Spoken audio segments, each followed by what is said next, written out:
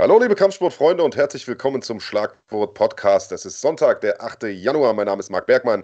Der junge Mann da drüben ist der großartige Andreas Kranjotakis. Und Andreas, wir haben heute eine riesige Sendung, denn wir sprechen über allerlei News, aber vor allen Dingen klären wir endlich zwei der größten Geschichten der letzten NFC-Veranstaltung auf, nämlich zwei Geschichten, die beide mit Weightcuts zu tun haben. Ja, und ich bin sehr gespannt, wie sich diese Geschichten dann quasi im Laufe des Podcasts entfalten werden, denn äh, sind kontroverse Geschichten aufgrund beider äh, Ereignisse, die mit dem Weightcut zu tun hatten jeweils, sind die Kämpfe ausgefallen. Und ähm, trotzdem könnten die beiden Geschichten unterschiedlicher nicht sein.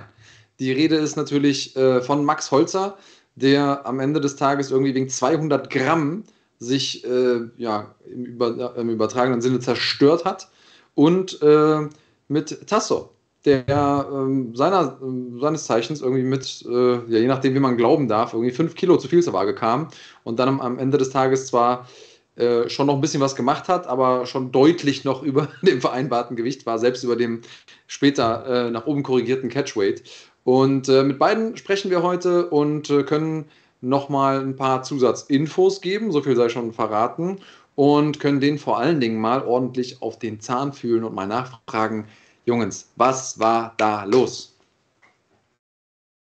So ist es. Also heute werden die Daumenschrauben angezogen und wir sprechen über eure Lieblingstraumpaarungen dieses Jahres. Wir haben vor äh, einigen Stunden einen Post abgesetzt, in dem ihr auf Instagram, äh, auf Instagram schreiben konntet, welche Fights ihr euch für 2023 wünscht äh, bei uns und wir haben uns mal rausgeschrieben geschrieben, notiert und werden heute darüber sprechen, wie realistisch das ist, dass wir diese Kämpfe sehen, warum die cool sind und ob wir vielleicht sogar eigene Traumpaarungen haben, die in diese Liste gehören. Also jede Menge zu tun. Wir beginnen wie immer, Andreas, würde ich sagen, mit äh, ein wenig Hausputz. Das heißt, wir sprechen über alles, was so angefallen ist in den letzten Tagen. Und da ist eine Menge angefallen in der MMA-Szene, überwiegend allerdings keine besonders guten Nachrichten. Los ging's vor okay, drei, vier Tagen mit der News, dass Dana White seiner Frau eine geklatscht hat.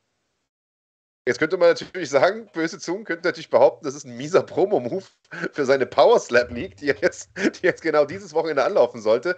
Äh, das jetzt aber nicht tun wird, die wird verschoben, jetzt um eine Woche zumindest, da werden wir gleich vielleicht nochmal drüber sprechen. Ähm, ja, der hat irgendwie seiner, äh, seiner Frau, die ja immerhin äh, schon seit 30 Jahren seine Ehefrau ist, äh, eine geknallt. Nicht nur eine sogar. Ich sah auf dem Video, das, es gibt ein Video davon äh, zu, seinen, äh, zu seinem Pech, äh, auf, dem man, auf dem man relativ gut erkennen kann, dass er, glaube ich, sogar noch eine zweite rein donnert, wenn nicht sogar noch eine dritte. Das erkennt man dann nicht mehr so gut. Wie hast du das Video aufgenommen? Ich weiß, du bist ja, du bist ja bekennender Feminist.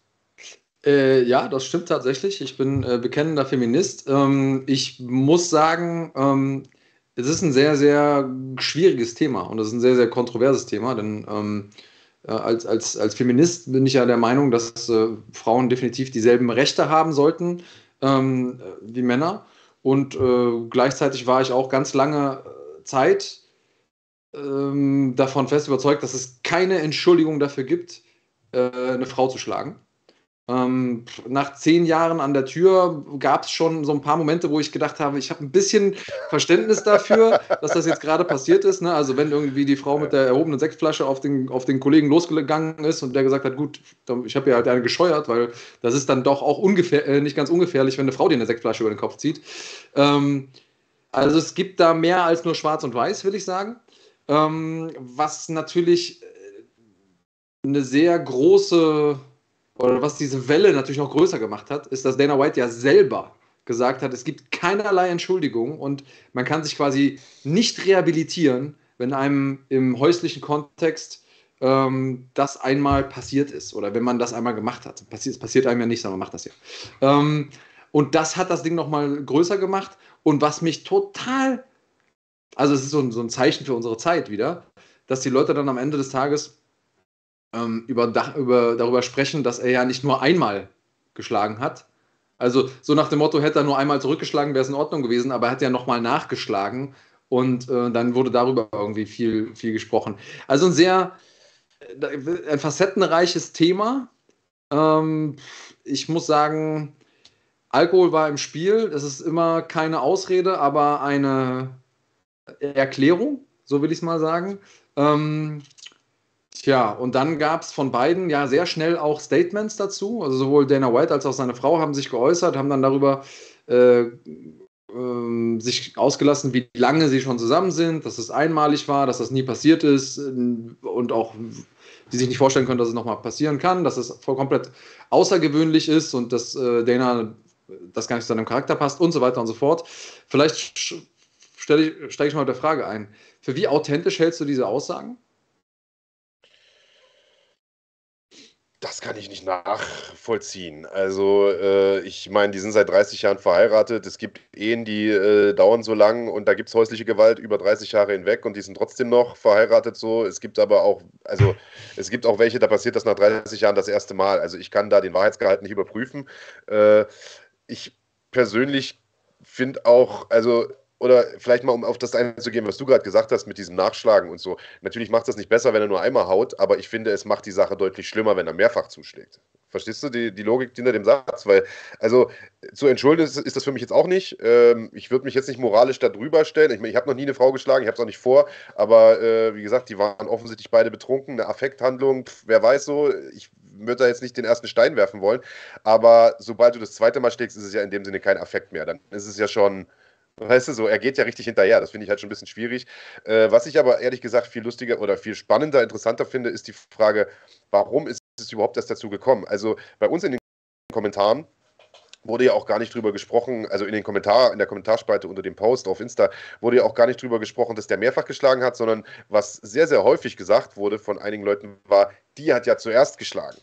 Äh, Wäre jetzt für mich auch nicht unbedingt ein Grund zurückzuhauen. Also ich verstehe natürlich dein Beispiel, das, was du mit dem Türsteher genannt hast. Ich meine, aus Selbstverteidigungszwecken, keine Ahnung, du hast irgendeine Frau, die ist verrückt, die hat ein Messer in der Hand, so, die würde ich natürlich auch hauen, so, einfach um meine eigene Haut zu schützen. Aber äh, nur weil die ja jetzt eine klatscht, ihr eine zurückzuklatschen, finde ich einfach unverhältnismäßig, weil Dana White ist halt schon ein ziemlich breiter Typ. Äh, die meisten Männer sind kräftiger als ihre Frauen. Das ist einfach keine verhältnismäßige Antwort, bin ich der Meinung. Also da hätte es auch geschafft, ihr die Hand festzuhalten und zu sagen, hey, reiß dich zusammen und komm mal runter oder so, statt ihr eine zu hauen.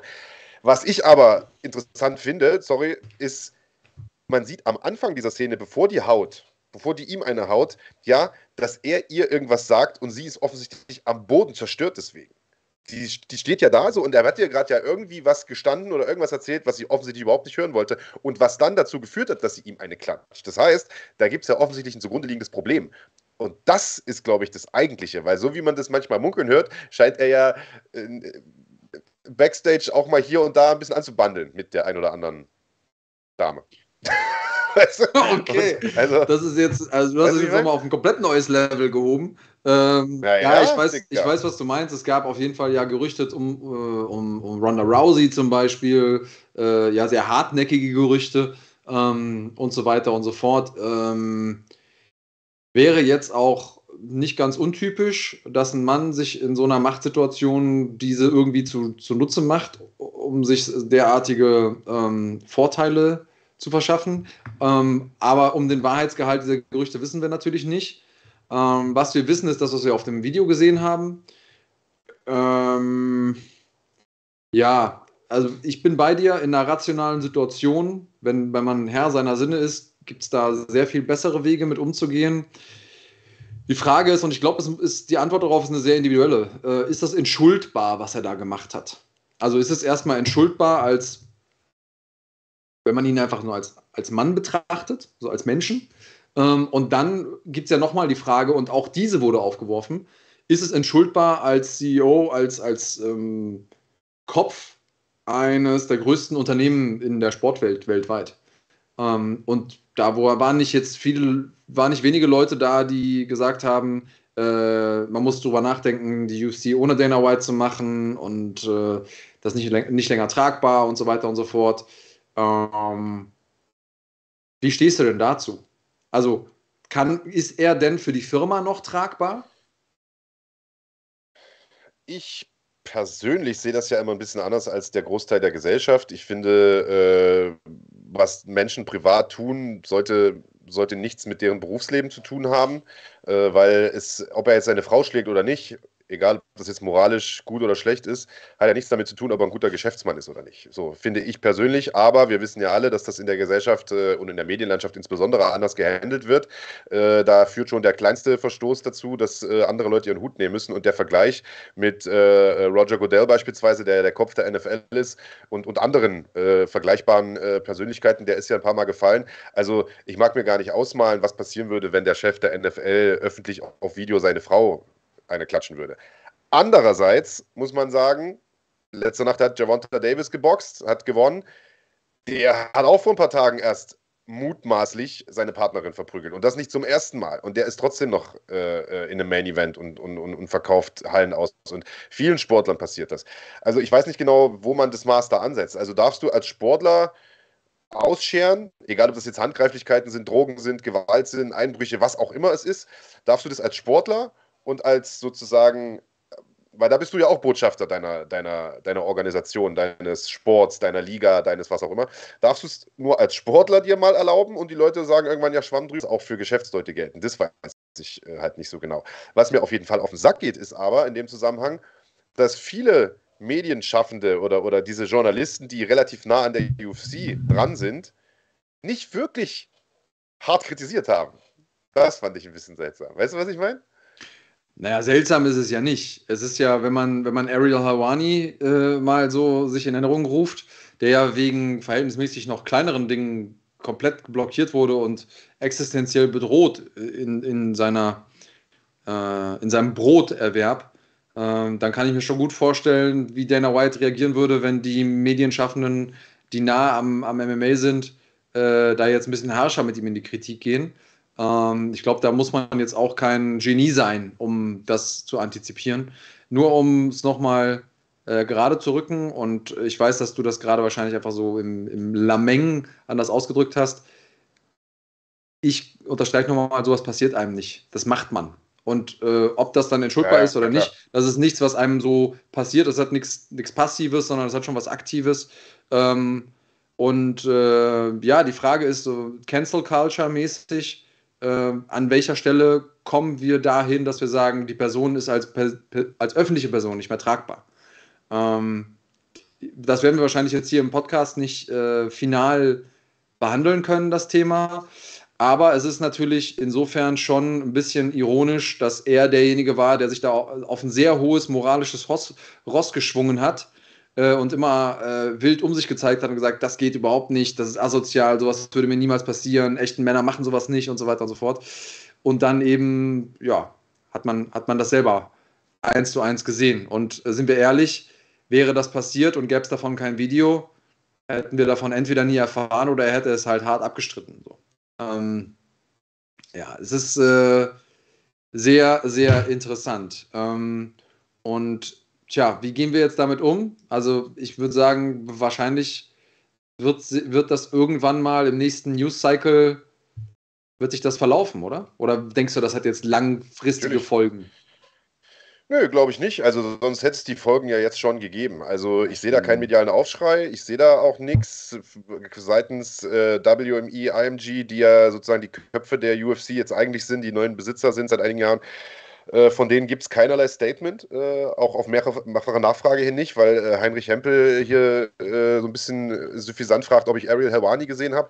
Natürlich habe ich gesehen, dass der sich darüber aufgeregt hat, Heinrich, aber die Ansage war ja, Journalisten, die sich im Dunstkreis der UFC befinden. Da gehört ja nun Ariel Helwani explizit nicht dazu. Ähm, äh, und der hat mehrfach nachgefragt bei sozusagen der Muttergesellschaft, die haben sich da nicht zugeäußert. Äh, der Fernsehsender TBS, der jetzt diese Power Slap League, also ich meine, auch was für ein kurioser Zufall, ja. Das Debüt von dieser Liga ist am Anfang der Klatsch. Also, das kann sich kein Hollywood-Schriftsteller oder Komiker besser ausdenken. Äh, da hieß es ja gerüchteweise, das wird komplett abgesetzt oder, oder was ist abgesetzt? Wird gar nicht erst gesendet, das lief ja noch nie. Äh, das findet, wird aber auch nicht so sein, sondern äh, nächste Woche wird das Debüt dann stattfinden. Also quasi eine Woche später. Das sieht für mich ja danach aus. Lass mal eine Woche ist das Thema durch. Und die Tatsache, dass man eine Woche nur genommen hat, um Gras wachsen zu lassen. Da wächst ja nicht so viel Gras in einer Woche. Zeigt mir, dass man diesen Vorfall, glaube ich, gar nicht so mega ernst nimmt. Und weiß ich nicht, vielleicht hatte Dana auch einfach Glück, dass es zum Jahreswechsel passiert ist, wo halt generell relativ viel Scheiß passiert ist. Es sind ja wenn du jetzt mal die Medienlandschaft in den USA dir anschaust, ist ja ein Haufen passiert. Ein Footballspieler ist äh, äh, im Krankenhaus gelandet, fast, fast gestorben. Ich glaube, irgend so ein Rallye-Fahrer ist, ist gestorben. Das ist alles so innerhalb von 24 Stunden passiert. Da war so viel News, dass das Ding, glaube ich, einfach zum Glück von Dana ein bisschen untergegangen ist. Nicht bei uns in der Blase, aber so in diesem Mainstream-Ding, wo dieser, wo dann passiert, weißt du? Ja, naja, ähm, wahrscheinlich ist das Glück äh, aus seiner Sicht. Ich bin mal gespannt. Ähm, also schreibt uns gerne hier unter das Video mal eure Meinung dazu. Sollte das jetzt das Ding sein, was Dana White sein Genick bricht? Also ähm, er steht ja für viele Dinge in der Kritik. Fighter Pay ist ein Thema, also dass Kämpfer zu wenig Geld bekommen, zu schlecht versichert sind, dass er mit denen nicht richtig umgeht. Ähm, auch generell seine Geschäftspraktiken. Wäre das jetzt so der Tropfen, der das fast zum Überlaufen bringt? Oder sagt ihr, na, muss man nicht unbedingt miteinander verbinden? Ähm, also ich bin da selber, ich bin da selber relativ klar, was sozusagen die persönliche Perspektive angeht. Das ist eine Sache, die mich, also die ihn für mich als Person jetzt, als Privatperson disqualifiziert. Ich würde jetzt ungern mit ihm Kaffee trinken gehen nächste Woche. Ähm, und gleichzeitig als, als rational denkender Mensch überlege ich mir natürlich, was wäre denn das Beste für die UFC? Weil man kann über ihn ja sagen, was man will. Das, was er macht, funktioniert.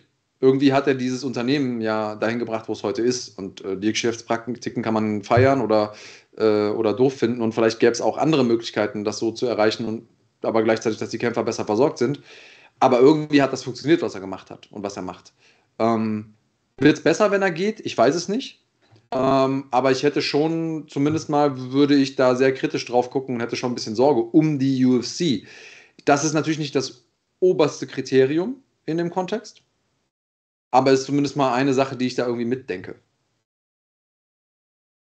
Ja, ich sehe es genauso. Also äh, ich finde ihn als Mensch dann auch unmöglich so. Mhm. Ich, ist jetzt eine Aktion, die ich nicht ähm, die man nicht so einfach wegwischen kann.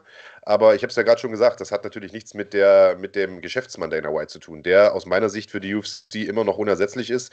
Und ich glaube ehrlich gesagt, dass es nicht besser wird, wenn der weggeht. Ich glaube, das wird eher schlecht, weil der schon, und viele wollen das vielleicht nicht hören, aber ich glaube, dass der schon ein paar Prinzipien hat, äh, die, die sehr wichtig sind. Und ich glaube, wir werden, wenn der irgendwann mal weg ist, so ein Verwässern der UFC erleben, wie wir das im Boxsport über viele Jahrzehnte gesehen haben. Das heißt, ich glaube, äh, dass der schon relativ wichtig ist in der Position und ich glaube, dass der auch allen Entscheidern wichtig ist, weil der natürlich relativ clever ist. Der hat ja jahrelang alle Fäden in der Hand gehabt und hat sie wahrscheinlich auch jetzt noch in der Hand.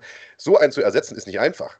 Und das wissen die natürlich auch bei, bei WME IMG. Die haben wahrscheinlich keinen dahingesetzt, der Bock hat, sich einzuarbeiten in dieses extrem komplexe Thema. Und ich meine, wir wissen ja selber, wie abgefuckter Mindfuck es ist, so eine MMA Organisation zu führen und das auch noch erfolgreich. Also da einen Ersatzmann hinzusetzen, ist nicht so einfach und ich glaube, das kommt ihm in solchen Situationen auch zugute, wenn er sich mal wieder einen Fehltritt erlaubt. Hm. Also Christopher J. hat hier geschrieben, ob das jetzt der Chef der UFC ist, ein Maurer oder ein Zimmermann, in keinem Fall ist dieser Vorfall ansatzweise vertretbar. Dennoch finde ich, dass er weiterhin als Chef der UFC agieren sollte. Ist eine mögliche, ein möglicher Standpunkt den man haben könnte. Also wie gesagt, wir werden es jetzt nicht, ähm, wir werden es jetzt nicht final klären können, aber ähm, ja, ich denke mal so knappe 20 Minuten dem Thema zu widmen hier im Podcast. Äh, oder liegt dir noch irgendwas auf der Seele zu dem, zu dem Thema? Ich bin gespannt, wie, wie die ähm, Schlagwort Nation das irgendwie einordnet. Also helft uns gerne im, äh, im Kommentarbereich. Und wo, ihr, wo wir gerade drüber sprechen, lasst uns auch gerne einen Daumen hoch mal da. Das hilft ja auch immer. Support ist kein Mord. Und äh, wir haben aber noch viele andere Sachen aufzuarbeiten, die passiert sind jetzt in der, ähm, ja, in der vergangenen Zeit. Ähm, womit fangen wir an? Also es gibt ja schon auch ein paar Sachen, die teilweise sehr, sehr traurig sind. Ja, ja der, wer hat es denn geschrieben? Ja, Adrian. Der, äh, Adrian MMA hat es geschrieben. Victoria Lee ist am 26.12. mit nur 18 Jahren verstorben. Ist tatsächlich erst heute äh, bekannt geworden, beziehungsweise ihre äh, große Schwester Andrea Lee, die ja äh, Atomgewichtstitelträgerin ist bei One, äh, hat den Post abgesetzt, dass äh, ihre jüngere Schwester mit, wie gesagt, gerade mal 18 Jahren verstorben ist. Es gibt keinen, also sie selber war auch Kämpferin, auch bei One war ein äh, sehr, sehr großes Talent. Victoria Lee war keine Vorerkrankung bekannt. Ähm, Andrea Lee hat in dem Post auch nicht wirklich ähm, irgendwelche Details dazu äh, verlautbaren lassen, woran das lag. Es ist ja doch sehr, sehr ungewöhnlich, dass jemand mit 18 Jahren stirbt. Äh, auf Twitter haben ein paar Gerüchte kursiert, dass es vielleicht Selbstmord gewesen sein könnte, aber das ist absolut unbestätigt. Deswegen würde ich da jetzt gar nicht, würde ich das jetzt gar nicht thematisieren wollen. Die, an der Stelle auf jeden Fall erstmal absoluter Schock natürlich für die äh, MMA-Community, wenn äh, so ein Riesentalent mit gerade mal 18 Jahren äh, ja, sein Leben lässt. Wahnsinn, ja, so richtig viel sagen dazu kann man nicht, außer dass ich einfach extrem äh, betroffen war, als ich das gehört habe, weil das ist natürlich. Ähm, also es ist immer traurig, wenn ein Mensch von uns geht, aber so, so junger Mensch mit so viel Lebensenergie. Ne? Also Kämpferinnen haben ja einfach auch, sind einfach agile Menschen. Ähm, das kann man sich gar nicht vorstellen, wie so jemand aus dem Leben genommen wird, ob jetzt über, über einen Suizid oder wie auch immer, über eine Krankheit oder, oder was auch immer.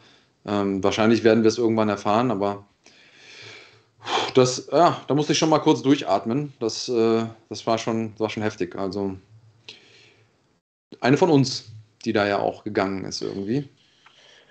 Naja, und die Frage ist ja auch, wie eine Angela Lee das dann äh, verkraftet, die ja auch noch ein Wettkampfjahr vor sich hat. Äh, Christian Lee ist ja auch noch da, äh, der zu dieser Familie gehört, äh, ebenfalls sehr, sehr erfolgreicher Kämpfer bei One.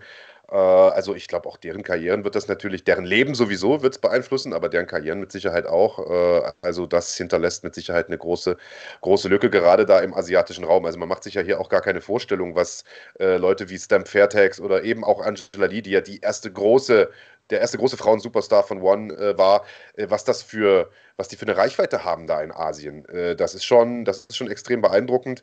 Also für die Szene dort ist das ein, ist das ein riesiger Schlag. Hier ist es eher so eine Fußnote. Ähm, aber eine traurige auf, auf alle Fälle. Ja.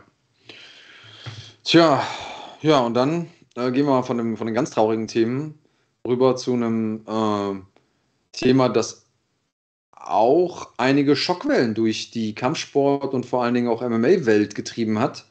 Und zwar einer der Social Media Stars in unserem Business hat äh, bahnbrechende News verkündet. ja, genau. Red von Jake, ja. Redet von Jake Paul und der hat bei der PFL unterschrieben ja. und wird MMA kämpfen. Und äh, das ist ziemlich abgefahren. Also auf so vielen verschiedenen Ebenen. Was war dein erster Gedanke? Hm. Hat er sich das gut überlegt, war mein erster Gedanke. Weil MMA ist natürlich nochmal eine andere Hausnummer. Ähm, jetzt muss, muss man ja fairerweise sagen, äh, es haben ja immer alle, oder beziehungsweise ich habe ja versucht, dieses Jake Paul-Thema lange zu ignorieren, so, weil ich am Anfang dachte, das ist einfach nur so, ein, so eine Eintagsfliege und so ein, so ein, weiß ich auch nicht, Alter, so ein PR-Stunt oder so ein Kram. Mittlerweile merkt man ja doch, dass es relativ ernst nimmt äh, mit dem Boxen und ich habe mit die letzten. So schlecht sieht es gar nicht aus, so ehrlich muss man sein. Also, das äh, hat Hand und Fuß, was er macht. Er trainiert da auch regelmäßig und so. Äh, hat jetzt natürlich keine großen Boxer geboxt, das muss man ehrlicherweise auch sagen, aber gut, das kann halt auch nicht der Anspruch sein für einen Anfänger. Also, äh, weiß ich nicht so, wenn, ne, der muss sich ja auch in Leuten stellen, die so ein bisschen auf seinem Niveau sind. Aber MMA ist halt nochmal eine andere Sache. Ich weiß nicht, wie lange er das schon trainiert, ob er das überhaupt schon trainiert. Da gibt es ja leider keine großen Infos zu. Ich kann mir einfach nicht vorstellen, äh, dass du dies, diese Basic Skills, die nötig sind, um da auch nur ansatzweise mitzuhalten auf einem, ich würde jetzt mal sagen, regionalen Niveau, äh, dir aneignen kannst in so einer kurzen Zeit, selbst wenn du ein guter Boxer bist, äh, das kann ich mir nicht vorstellen. Und äh, die PFL ist ja nun nicht im Regionalniveau, da sind einige richtig stabile Jungs dabei. Und ich stelle dir mal vor, der, kriegt, der bekommt irgendeinen so einen ungeschlagenen dagestanischen Ringer. So, dahingestellt. Also das werden die wahrscheinlich nicht machen, die PFL ist ja nicht blöde, aber stell dir mal vor, weißt du, so, was soll denn passieren? Egal wie gut du boxen kannst, dann, dann ist das doch vorbei ja. relativ schnell. Klar. Und ich weiß nicht, ob du es gesehen hast, es ist so ein, rund um die, die Ankündigung, dass er in der PFL ist, ist so ein Video aufgetaucht, wo er geschrieben hat, äh, hier trainiere ich das erste Mal Low Kicks. Und ein bisschen sah es auch so aus, als hätte er das erste Mal angefangen, Low Kicks ja, zu trainieren. Ähm, man muss sagen, also ein Athlet ist der Typ, ne? also der ist definitiv athletisch. Ich glaube auch, dass er das ernst nimmt und dass er, dass er gut und schnell lernt. Das kaufe ich ihm alles ab. Aber da bin ich bei dir, das ist schon, also Boxen ist halt was anderes als MMA oder andersrum. MMA ist was anderes als Boxen. Ähm, und es wird wahrscheinlich einfach viel davon abhängen, wie die Matchups sind. Er hat ja laut nach äh, Diaz geschrien. Und ich glaube, es macht auch total Sinn. Und hat gesagt, hey, Diaz, äh, wir machen beides. Wir machen einen MMA-Kampf und wir machen einen Boxkampf. Wenn das, wenn das natürlich der Weg ist, kann ich mir zumindest mal vorstellen, dass Diaz, also entweder ist er komplett äh, abgeklärt und geht da rein, holt den Takedown und verknotet ihn am Boden, weil Diaz ist äh, also am Boden definitiv gefährlicher als Jake Paul äh, das jemals werden wird in seinem Leben. Ähm, und macht dann den Boxkampf hinterher. Aber egal wie, wie das Ding ausgeht, angucken würde ich es mir. Und damit haben die ja auch schon wieder mal, ich sag mal, Multimillionen sicher. Oder? Ja, glaube ich auch. Also es wird natürlich mit, dem, mit der Gegnerwahl stehen und fallen, ganz klar. Äh, Nate Diaz, glaube ich, wird es nicht. Der hat jetzt irgendwie, wie man das von den Diaz-Brüdern kennt, ganz, ganz mysteriös äh, einen Ryzen-Banner gepostet. Also wer weiß, Alter, vielleicht sehen wir ihn ja sogar in Japan. Das würde ich natürlich richtig feiern. Äh, das wäre genau, genau mein Schnack. Äh, Hans Dampf schreibt hier Rematch gegen Paul Askren, Ausrufezeichen. Das haben natürlich sofort alle ge gefordert auf Twitter, als diese News rauskam, dass der jetzt unterschrieben hat bei der PFL. Aber geht leider nicht. Paul Askren hat ja nach wie vor noch einen UFC-Vertrag. Und wenn du zurücktrittst, dann erlischt der nicht, sondern der friert sozusagen ein. Äh, und wenn du dann, dann irgendwie fünf Jahre später überlegst, ach, ich kämpfe doch nochmal, dann musst du den halt erfüllen. Ne? Es sei denn, du schaffst es irgendwie, den im gegenseitigen Einvernehmen aufzulösen. Aber die UFC wäre ja schön blöde, äh, das zu machen. Das heißt, der ist nach wie vor an die UFC gebunden, wenn er denn kämpfen wollen würde im MMA. Äh, damit wird es halt nichts. Ihr könnt ja mal reinschreiben, was ihr gern äh, alternativ für einen Gegner gern hättet äh, für den äh, Jake Paul. Äh, möglichst vielleicht sogar aus dem jetzigen PFL-Kader schon. Weil das ist natürlich am allerrealistischsten. Dann haben die schon einen Vertrag mit der Organisation. Mir würden da jetzt auf Anhieb gar nicht so viele einfallen, die äh, nicht, dat, also wo das Ergebnis nicht so eindeutig im Voraus schon feststehen würde, dass man sagt, das macht eigentlich gar keinen Sinn, das anzusetzen. Ja, also Anthony Pettis hat sich gemeldet. Ähm, das würde so rein von der Vermarktung her Sinn machen. Aber auf also reine MMA-Skills so, das kann eigentlich nicht gut gehen. Ähm, ja, keine Ahnung. Keine, also ich, mir fällt jetzt auch keiner ein, wo ich denken würde, okay, das macht Sinn. Ja, und Hans Damm schreibt jetzt, als würde die UFC Askren nochmal antreten lassen wollen. Äh, darum geht es ja nicht. Es geht ja nicht darum, dass sie den bei sich kämpfen lassen wollen, sondern es geht darum, dass die natürlich einem Konkurrenten äh, ein potenziell lukratives Matchup nicht erlauben würden. Also das würde ich zumindest nicht. Wenn ich die ja. UFC wäre, ich würde Ben Askren nicht erlauben, bei der PFL kämpfen zu, weil das wäre natürlich der, der No-Brainer, dieser Kampf, ganz klar. Ähm, ja, ich finde es äh, spannend. Also ganz ehrlich, Hut ab vor Jake äh, Paul, das muss man, äh, muss man ehrlich sagen. Also der Typ geht mir immer noch irgendwie ein bisschen auf den Sack. Ich mag die Art von dem einfach nicht, das ist nicht so mein äh, Typ, aber ich respektiere ihn natürlich schon äh, dafür, dass er sich offensichtlich den Arsch aufreißt im Gym, trainiert und äh, die Eier hat äh, zu sagen, gut, ich gehe da jetzt in dieses MMA-Geschäft rein. ich kann mir nicht vorstellen, dass das sonderlich von Erfolg gekrönt sein wird, aber gucken wir mal. Ich hoffe halt nur, dass sie ihm jetzt nicht irgendwelche Gurken hinstellen. Das wäre halt irgendwie lame. So. Weil, guck mal, der hat ja dieses Box-Ding, hat er ja clever aufgezogen. Der hat sich große Namen dahingestellt, die aber nicht boxen können. So richtig. Zumindest nicht, weißt du? So, weil sie halt aus dem MMA äh, gekommen sind. Aber wie willst du es denn im MMA machen? Wem einen Namen hinstellen, der Weißt du? Weil MMA ist ja quasi, das sind ja alle Disziplinen mit drin. Wie, wie, willst du das jetzt, wie willst du das Ding drehen? Das, das wüsste ich halt nicht. Sie werden es uns zeigen. Also ja. ich glaube, dass die schlau genug sind, um sich was ausgedacht zu haben, was am Ende des Tages funktioniert. Ähm, aber logischerweise wird er irgendwann da, also er wird nicht ungeschlagen bleiben. Da, da, bin ich mir relativ sicher. Aber alleine ihn mal zu sehen im MMA, Alter, ich schalte ein. Ganz, ganz im Ernst. Ja, nachdem, nachdem dieses Boxding er durchgezogen hat und auch wenn du sagst, ja, er hat sich MMA-Kämpfer geholt, die nicht boxen können, es waren trotzdem Profiathleten, Leute, die teilweise 20 Jahre als Profi an der Weltspitze waren, ne? so ein Anderson Silver. Ähm, da gibt es einfachere Aufbaugegner. Sind wir ganz ehrlich. Die bringen vielleicht nicht den Buzz mit ja. sich, aber kann man auf jeden Fall einfacher hinbekommen. Ja, Mad Max schreibt, der wird sich jetzt wahrscheinlich einen Boxer hinstellen lassen, der nicht ringen kann. Das wäre natürlich. dann, dann, sehen wir zumindest mal, wie gut Jake Paul boxen kann. Ähm, also lassen wir uns mal überraschen. Es bleibt da äh, spannend auf jeden Fall. Äh, der Mann lässt sich immer wieder was, was Neues einfallen. Äh, Sobald es da Neues gibt, werden wir natürlich drüber sprechen. Eine Nachricht noch, bevor wir zu, unserem, äh, zu unseren Dreamfights kommen. Äh, die ist auch in den letzten ein, zwei Tagen rausgekommen äh, zu Khabib Nurmagomedov, der sich offensichtlich entschlossen hat, komplett dem MMA-Sport den Rücken zu kehren. Das heißt, äh, auch nicht mehr als Trainer in Erscheinung treten möchte, äh, nicht als Promoter. Er hat ja Eagle FC äh, hochgezogen oder aufgekauft und umgebaut und hochgezogen. Äh, das soll es wohl alles nicht mehr geben, möchte sich komplett nur noch auf seine Familie konzentrieren und äh, will mit dem Sport nichts mehr zu tun haben. Ich glaube, so sinngemäß war die Aussage aus seinem Umfeld. Also er selbst hat sich dazu meines Wissens nach noch gar nicht geäußert. Äh, sinngemäß war die Aussage, dass der, der, MMA hat wohl zu negativen Einfluss auf ihn, zu negativer Energie, so sage ich es jetzt mal. Ähm, und äh, er will wohl und das finde ich interessant, nicht mal mehr als Trainer in Erscheinung treten, obwohl das doch eigentlich das Vermächtnis seines Vaters war, aber äh, vielleicht hat er sich gesagt, jetzt wo, wo Islam Champion geworden ist, hat er sozusagen seinen Auftrag erfüllt und das ist der Zeitpunkt abzutreten. So hätte ich das jetzt gelesen. Oder was meinst du? Ja, ich bin da, also ich bin ein bisschen vorsichtig, was die News angeht.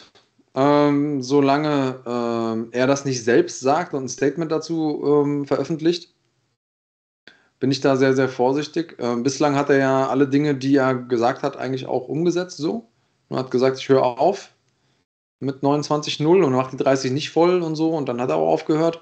Ähm, und bislang ist er, macht er keine Anstalten, um wieder zurückzukommen. Ähm, ich finde es ein bisschen, oder ich hätte ihn nicht so eingeschätzt.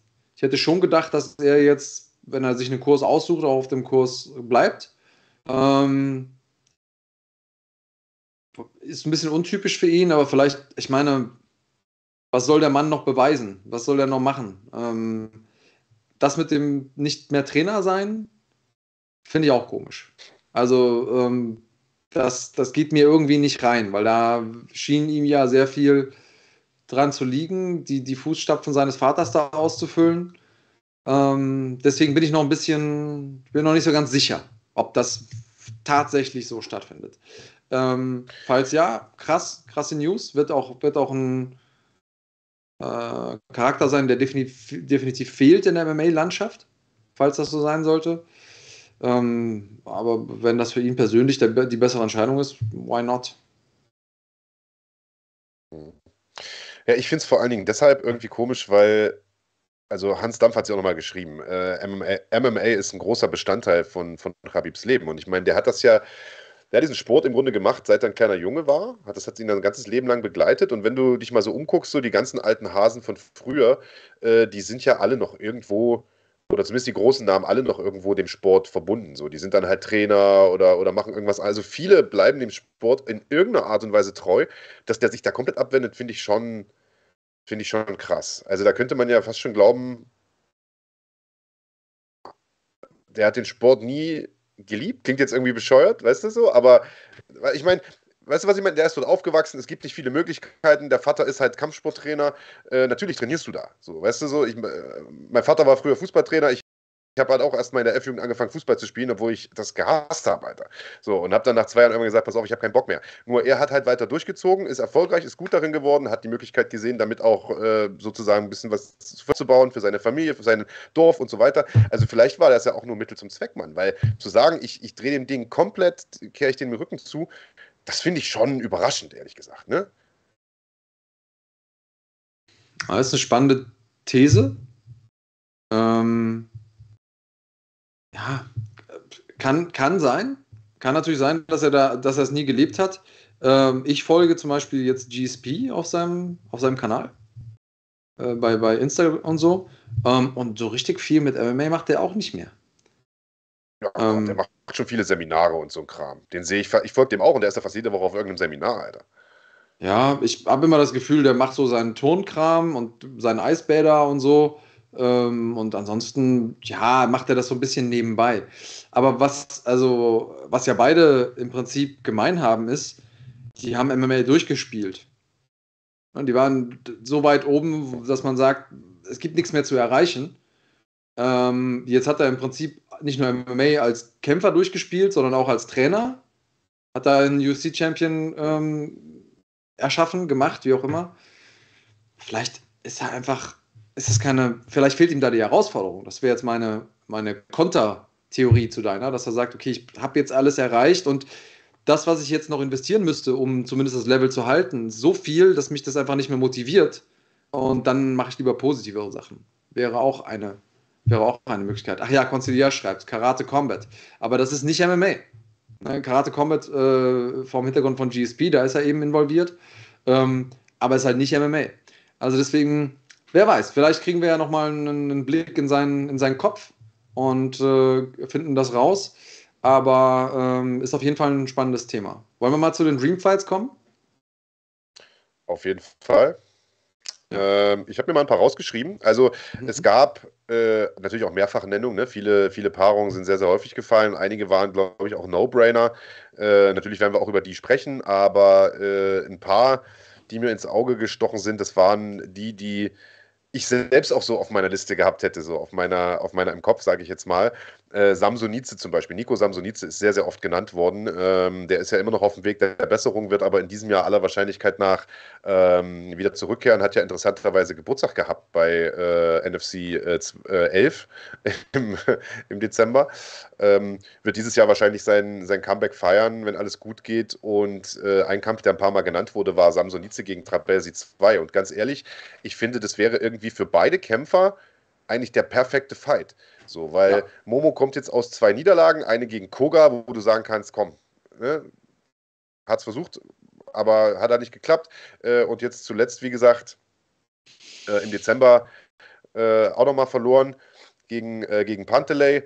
Äh, also eigentlich guter Einstieg für Samsonice und umgedreht, aber Samsonice auch für Momo vielleicht ein Kampf, um, weil da hat er ja so ein bisschen das, aus dem ersten Kampf, so hat er es ja selber erlebt, äh, dass die, die tunesischen Knochen waren zu hart und so ein Kram hat er ja erzählt. Weißt du? Also ich glaube schon, dass er mit breiter Brust aus diesem Kampf rausgegangen ist, auch wenn er den ja im Grunde nicht selbst gewonnen hat, sondern eher durch eine Verletzung des Gegners gewonnen hat.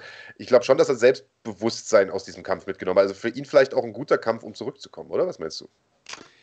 Ja, und man hat auf der, ähm, auf der einen Seite die Möglichkeit zu sehen, ähm, weil im ersten Kampf war es ja schon so, äh, Momo hatte seine Momente, aber insgesamt äh, wirkte, wirkte doch Samsonice der wieder überlegenere. Und dann könnte man gucken, okay, ist das, ist das noch so? Ne? Also ob Win or Lose, äh, ist dieser selbe Eindruck, der Kampfverlauf, die Dynamik des Kampfes, stilistisch, verhält sich noch so? Oder hat Samsonice was verlernt? Hat er was dazugelernt? Äh, ist, ist Travelsi besser geworden? Also das ist insofern aus, aus Samsonices Sicht ein sehr, sehr spannender Kampf. Und ja, Momo mit einem Sieg über äh, Samsonice wäre definitiv hätte er wieder den, ähm, den Anschluss an die Spitze der geschafft sofort. Ja. Mich hast du überzeugt. Und äh, auch ihr da draußen. Also das Comeback von, von Nico ist definitiv eins der Dinge, auf die ihr euch am allermeisten freut da draußen. Ähm, und da seid ihr in guter Gesellschaft. Mich könnt ihr da mit, mit dazu zählen. Ich äh, würde mich auch sehr freuen, den, den Bruder wieder in Action zu sehen. Welcher Kampf ist dir denn besonders ins Auge gestochen in diesen Kommentaren da? Waren ja einige. Es, es, waren, es waren einige und ich ähm, muss sagen, es waren natürlich auch einige dabei, die jetzt dieses Jahr ausgefallen sind. Ayan Topalay zum Beispiel gegen ja. ähm, Maurice Adorf. Das ist äh, so ein Ding, da äh, würde ich mich auch freuen, wenn der, wenn der nachgeholt werden würde. Ähm, auch wenn jetzt im Nachhinein so ein bisschen äh, dann klar war, okay, die sind sich halt so lange nicht grün, wie sie irgendwie gegeneinander gematcht sind. Und danach war es aber auch schon wieder ein bisschen äh, entspannter.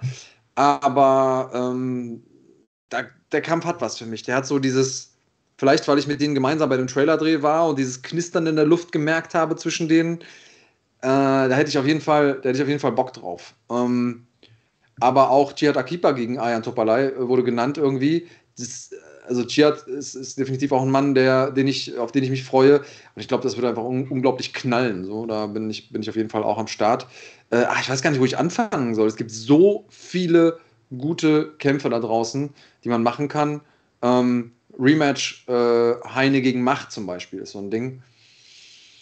Ich liebe ja Geschichten die Geschichte fände ich großartig. Ja. Und äh, auch da mach, mach es an dem, an dem Punkt, wo er sich jetzt auch rehabilitieren muss. nach den beiden Niederlagen in Folge. Und Heine kann sich von seiner Niederlage vorher, die ja ihm, glaube ich, auch so ein bisschen am, am Ego gekratzt hat, rehabilitieren. Das Ding wäre auch so ein, so ein Ding, das, äh, das ich super gerne sehen, sehen würde. Wie, wie ist es denn bei dir? Was sind so deine, deine Favoriten? Also, wir haben ja letzte Woche den, ähm, den Dennis Ilber hier in der Sendung gehabt und konnten ja leider noch nicht über seinen Gegner sprechen, weil äh, der Kampf im Grunde genommen schon mehr oder weniger unterschrieben war, aber der Gegner vertraglich noch an anderes Management gebunden und so. Äh, und ein paar Tage später hatte sich das dann, ich glaube sogar nur zwei Tage später oder so, hatte sich das dann aber erledigt. Wir hatten den unterschriebenen Vertrag vorliegen und haben dann auch die Paarung veröffentlichen können. Dennis Ilber bekommt es nämlich zu tun mit Jade Ucha, was äh, für mich ein absolut Riesenfight ist. Äh, Jade mit Sicherheit einer der vielversprechendsten Federgewichtler überhaupt aktuell.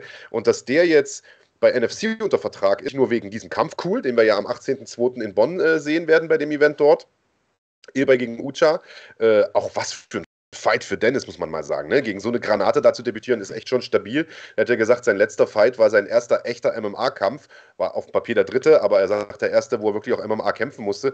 Und dann jetzt im vierten direkt gegen den Ucha ran olle Wetter. Also Respekt, dicke Eier äh, hat der Ebay auf jeden Fall. Und die Tatsache, dass der Ucha jetzt bei, bei NFC ist, eröffnet ja so viele coole Matchups. Ich meine, das Federgewicht ist ja die Gewichtsklasse eigentlich. Und äh, da kannst du natürlich Fights machen. Und das haben einige auch reingeschrieben, wie Ucha gegen Topalai, Ucha gegen Adorf und, und, und. Also Wahnsinn. Also, und das, da habe ich eigentlich, also dieses gesamte Hin und Her äh, in diesem äh, Bermuda-Dreieck des Federgewichts sozusagen, äh, finde ich super spannend. Ja, also Luca 2909 hat jetzt, äh, hat jetzt so ein Turnier vorgeschlagen und das stößt ja da, bläst ja ins selbe Horn, zu sagen, wir machen ein Federgewichtsturnier mit, äh, wie du gesagt hast, ne, Taran, mit äh, Trabelsi, mit Topalai, mit Maurice, mit äh, Abu Bakr Sabirov, mit äh, Charles Ucha und so weiter und so fort. Und äh, Series-Finalisten Und Beispiel, die Series-Finalisten. Ne? Und das ist ja das Geile ist daran, egal wen du da miteinander in den Ring stellst, kriegst immer ein geiles Matchup. Und wie geil ist das Federgewicht? das, ist, das, ist, unglaublich. Hätte ich nicht gedacht, dass ich das irgendwann mal sage in meinem Leben, aber es ist definitiv so.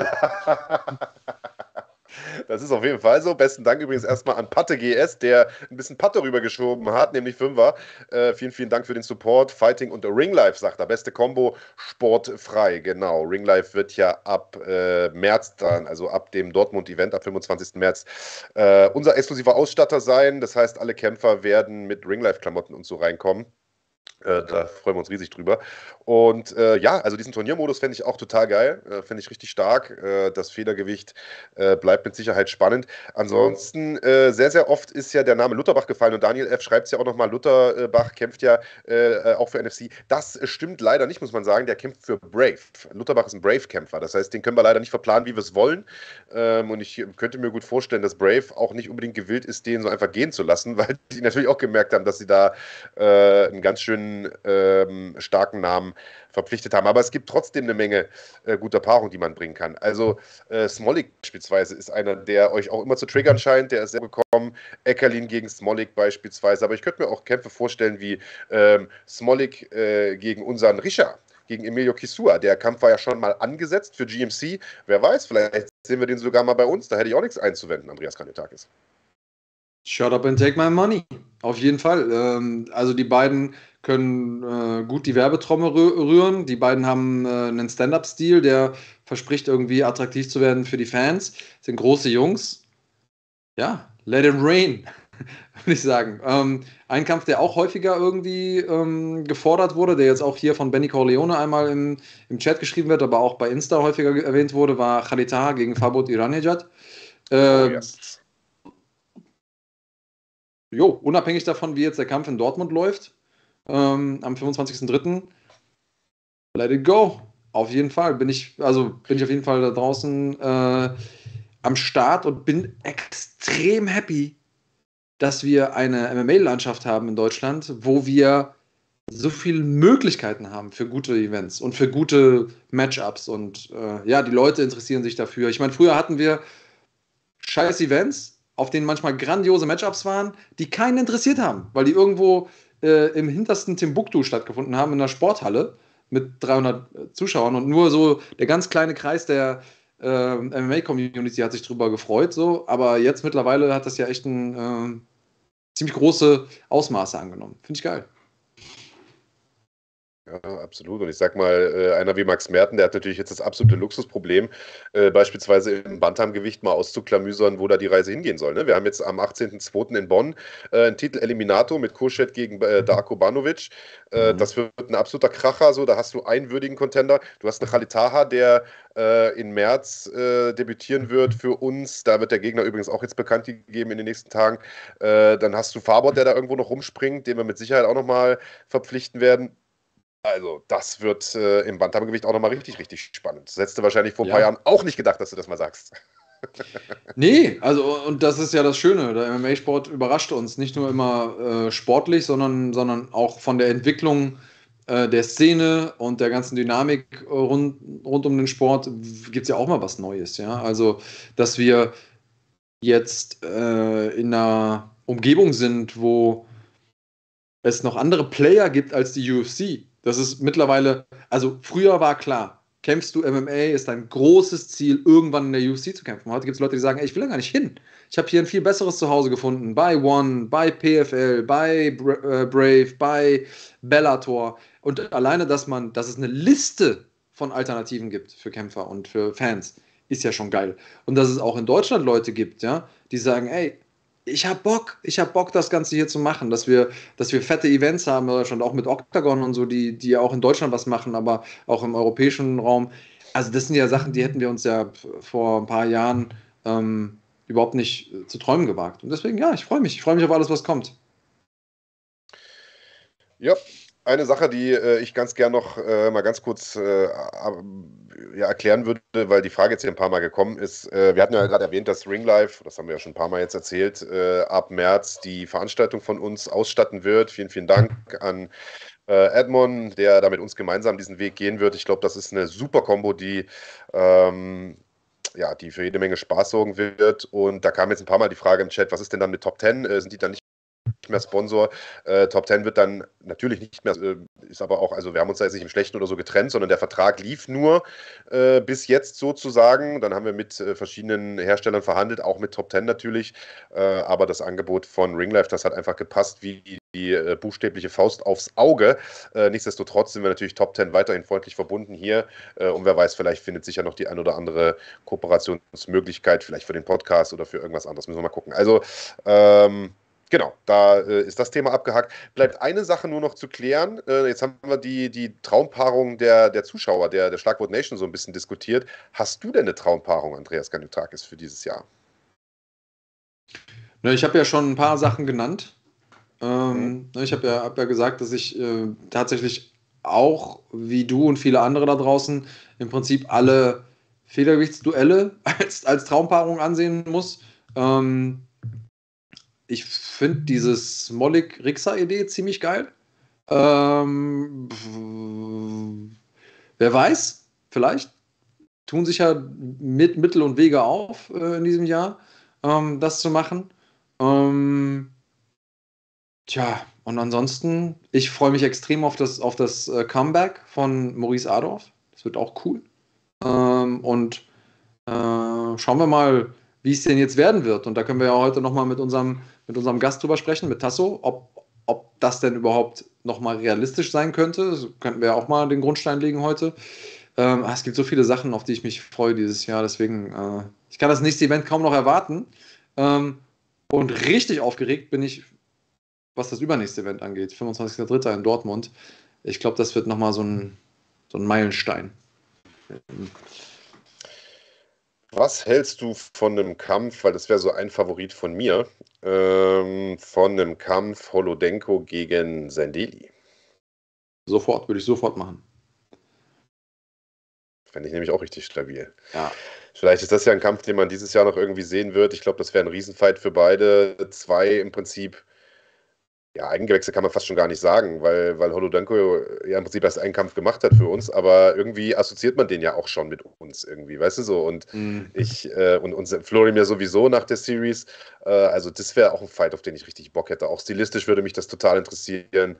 Ähm, ja, Also gibt einige coole Paarungen. Also wir haben gar nicht alle angesprochen, die ihr da gepostet habt. Nee. Ähm, aber ich glaube, das würde auch den Rahmen der Sendung sprengen. Ja, irg irgendwo, äh, irgendwo sind wir dann auch mal äh, fertig mit der Zeit, weil wir haben ja noch Leute, die wir in der Pipeline haben für ein Interview. Und äh, die wollen wir auch gar nicht allzu lange warten lassen. Aber ähm, was wir auf jeden Fall noch machen wollen, ist euch noch ein bisschen zusätzlich heiß machen auf das, was euch in Dortmund erwartet. Am 25.03., falls ihr noch keine Karten habt, die bekommt ihr natürlich bei uns fighting.de slash Tickets. Und was ihr da zu sehen bekommt und warum ihr da hingehen solltet, das wollen wir euch gleich noch ein bisschen zeigen.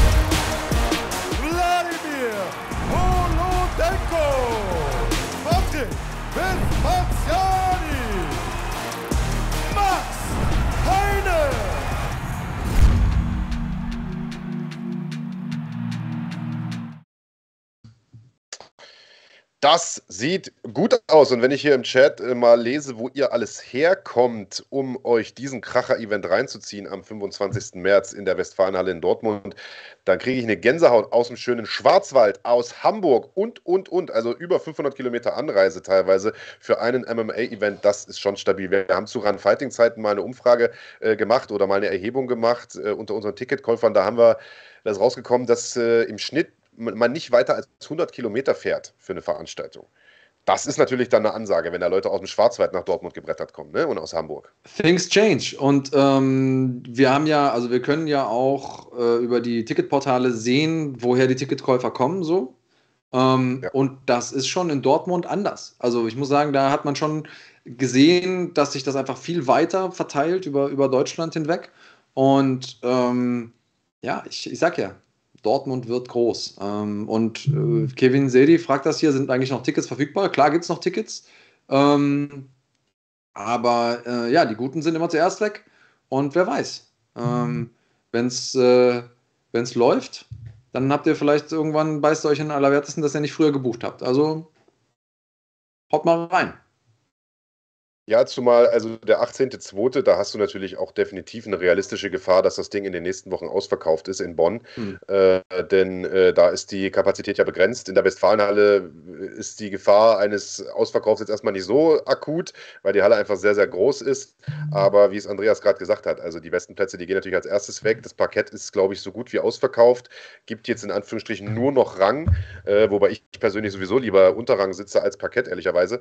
Ähm, aber ja, da ist für jeden Geldbeutel was was dabei. Schaut mal nach fighting.de slash Tickets am 25.03. in der Westfalenhalle in Dortmund. Das wird einer der größten Events des Jahres. Und dort werden wir wahrscheinlich einen jungen Mann sehen, Andreas Kranjotakis, den wir leider bei der letzten Veranstaltung im Dezember nicht gesehen haben, weil es ihm nach dem Weightcut äh, ganz und gar nicht gut ging. Er sogar ins Krankenhaus musste, äh, was natürlich also eine extrem bittere Nachricht war. Nicht nur, weil der Kampf ausgefallen ist, sondern weil wir natürlich auch äh, unseren Kämpfern äh, also nur die beste Gesundheit wünschen. Und er ist jetzt wieder einigermaßen gesundet, auch wenn der Pipeline, ich gerade sehe, dass seine Kamera ausgestiegen ist. Nee, jetzt ist er wieder da.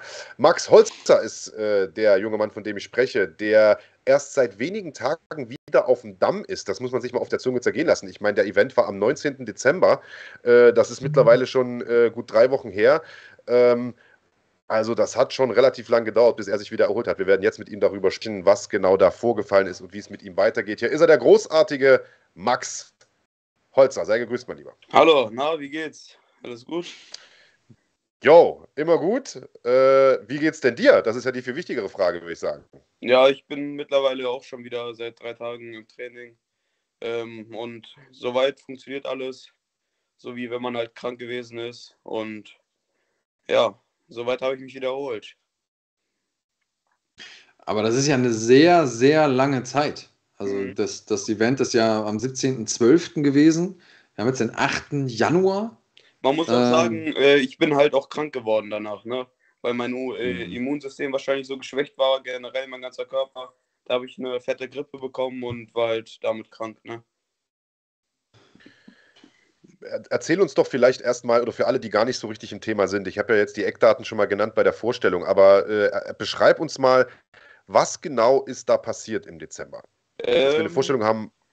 Ja, ich habe eigentlich ganz normal mein Gewicht gemacht. Äh, es war auch erstmal gar kein Problem. Das Gewicht ist einfacher runtergegangen als sonst, weil ich vorher schon eine sehr gute Diät gehalten habe, auch über die ganze Vorbereitung schon. Ähm, und dann irgendwann, als noch 200 Gramm gefehlt haben, wollte nichts mehr runtergehen. Und ich habe dann über Stunden probiert, diese 200 Gramm noch zu verlieren, aber es ist nichts mehr runtergegangen. Also insgesamt habe ich dann noch 20 Gramm verloren. Aber ja, ich glaube auch, das im Endeffekt hat mich dann kaputt gemacht, weil vorher war es gar kein Problem. Ich weiß nicht, ob mein Körper den Schutzmechanismus eingestellt hat oder was da passiert ist, aber vorher war es eigentlich kein Problem. Ich habe das Gewicht gemacht, ich habe mich besser gefühlt als sonst, ich war fit und dann 200 Gramm sind nicht mehr runtergegangen. Und ich hätte an dem Punkt irgendwann einfach sagen müssen, ja, egal, dann verpasse ich halt einfach das Gewicht und aber ich finde sowas halt mega unprofessionell, deswegen habe ich es trotzdem noch auf Biegen und Brechen immer weiter versucht und ich glaube, das war dann im Endeffekt auch das, was mich da äh, auseinandergenommen hat. Ja, auseinandergenommen ist ein gutes Stichwort. Du nimmst auch gerade unsere Technik hier ein bisschen auseinander. Ja. Irgendwie seitdem du im, Call bist, spinnt die Bandbreite. Deswegen wundert euch da draußen nicht, dass äh, Max Bild immer wieder springt. Das liegt einfach daran, dass wir eine sehr un, ähm, unstete Bandbreite haben und das Programm das quasi immer versucht neu einzustellen. Kahn ist im Hintergrund, äh, der hat sogar schon seinen, äh, seinen Dönerteller zur Seite geschoben und, ähm, und versucht hier mit, mit Leibeskräften der Technik Herr zu werden. Ja, aber ähm, gehört, er ist schon aufgestanden aus dem Bett sogar dafür extra jetzt, um das sich wirklich richtig. Oh. Ja, ja, also okay, ja, das will was bedeuten, Max. Ja, ja, ja, ja, das ist unfassbar. Das ist unfassbar. äh, also, ähm. das, ja, das klingt natürlich erstmal also katastrophal und äh, wir, wir haben, also auch nochmal vielleicht zur Erinnerung für alle, ich meine, das war eine Veranstaltung, die ohnehin schon von Verlusten gebeutelt war ohne Ende, als wir diese Nachricht bekommen haben. Dieses kam bei uns erstmal nur an, äh, Weightcut geschafft, aber äh, geht gut und, und kann nicht runter mhm. zum offiziellen Wiegen, ich glaube, oder zum, zum offiziellen Stairdown, was wir ja. immer noch machen.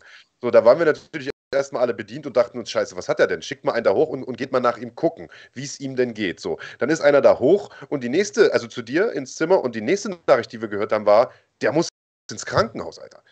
Wie, ab wann ist das entschieden worden? Wo, woran hast du erkannt, okay, ich kann auf keinen Fall hier in diesem Hotelzimmer bleiben? Äh, und, und wie ging es dann weiter? Weil das ist ja, das ist ja schon akut. Das Ding ist, dass ich ähm, nach dem Weightcut halt erstmal probiert habe, mich wieder aufzuladen sozusagen. Also ich war nach dem Cutter komplett geschafft. Ich habe dann halt nur noch im Bett gelegen mäßig. So eine Infusion haben wir auch halt gelegt und ähm, ja, erstmal probiert normal mit, äh, wie man das halt macht. Babybrei und halt so leicht, leichter Nahrung, erstmal nur ein bisschen was trinken und so aufzuladen. Aber dann abends, so, da konnte ich kaum noch aufstehen. Ich bin auch da ein paar Mal weg gewesen, so ohnmächtig geworden.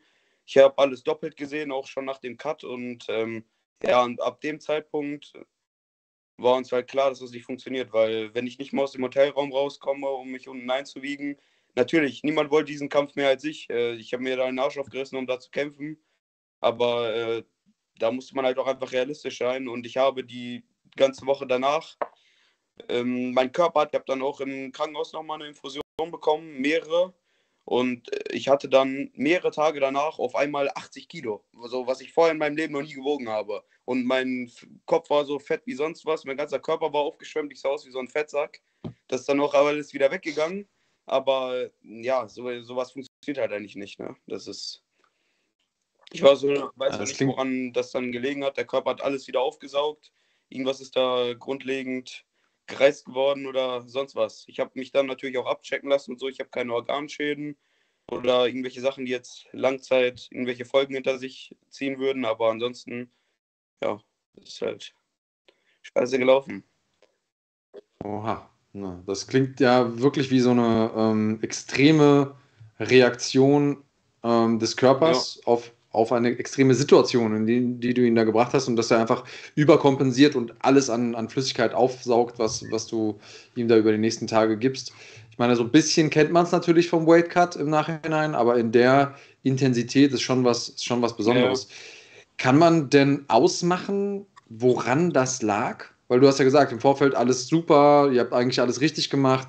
Ähm, Gibt es irgendwas, wo, was du irgendwie im Nachhinein auch als, als Grund identifizieren kannst, wo du sagst, Mensch, ich denke, äh, wenn man, also, weil am Ende des Tages muss ja eigentlich der Anspruch sein, sowas zu verhindern beim nächsten ja, Mal. Also was kann man beim nächsten Mal tun, damit das nicht nochmal passiert? Ja, beim nächsten Mal werde ich auf jeden Fall jetzt schon alleine gucken, dass ich in Zukunft auch leichter rumlaufe und einfach auch weniger cutten.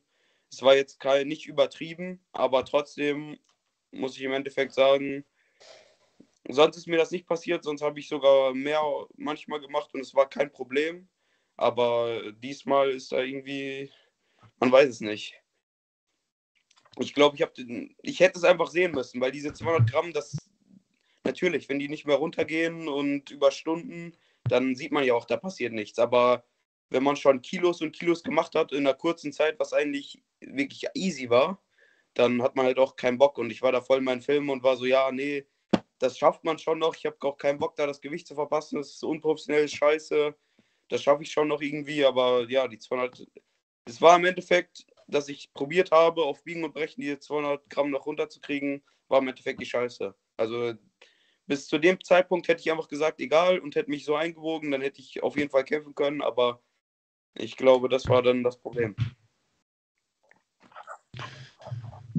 Jetzt, äh, ja, jetzt haben wir hier. Ich, also, mach du ruhig. Ja, also wir haben uns ja äh, in der Vergangenheit häufiger mal über das äh, Kampfgewicht von dir unterhalten. Mhm. Es gab ja auch Herausforderungen, unter anderem von dem Sean da Silva und so, weil du äh, ja selbst mal angedacht hattest, vielleicht sogar ins ja. Fliegengewicht runterzuwechseln. Ist sowas jetzt komplett irgendwie äh, abgehakt, das Thema? Und es kamen jetzt auch ein paar Fragen hier aus dem Chat, die sagen, äh, bleibst du im Bantam oder ja, musst du vielleicht sogar hochgehen? Nein, nein, ich bleibe im Bantam-Gewicht. Ich werde ähm, in Zukunft auch probieren, noch mehr über Diät zu machen. Ich habe auch, ich, im Endeffekt, ich glaube auch, ab einem bestimmten Punkt äh, wird das Cut noch zum Nachteil, weil man halt äh, geschwächter in den Kampf reingeht, weil man länger Zeit braucht, um sich da aufzuladen, zu am Arsch ist. Ist jetzt nicht so, dass ich von Natur aus sonst wie viel wiege und mh, hm, dass ich das nie wieder schaffen könnte. Ich werde jetzt einfach leichter rumlaufen, weniger cutten. Jetzt auch nicht nichts mehr, aber halt weniger und ich glaube nicht, dass es nochmal ein Problem wird. Mit wie viel läufst du denn rum? fragt hier La Pantera MMA. Das ist, äh, wie nennt man das? Ähm, das ist ein Geheimnis. Nein, äh, ja, keine Ahnung. Ich würde ich halte mein Gewicht eigentlich immer so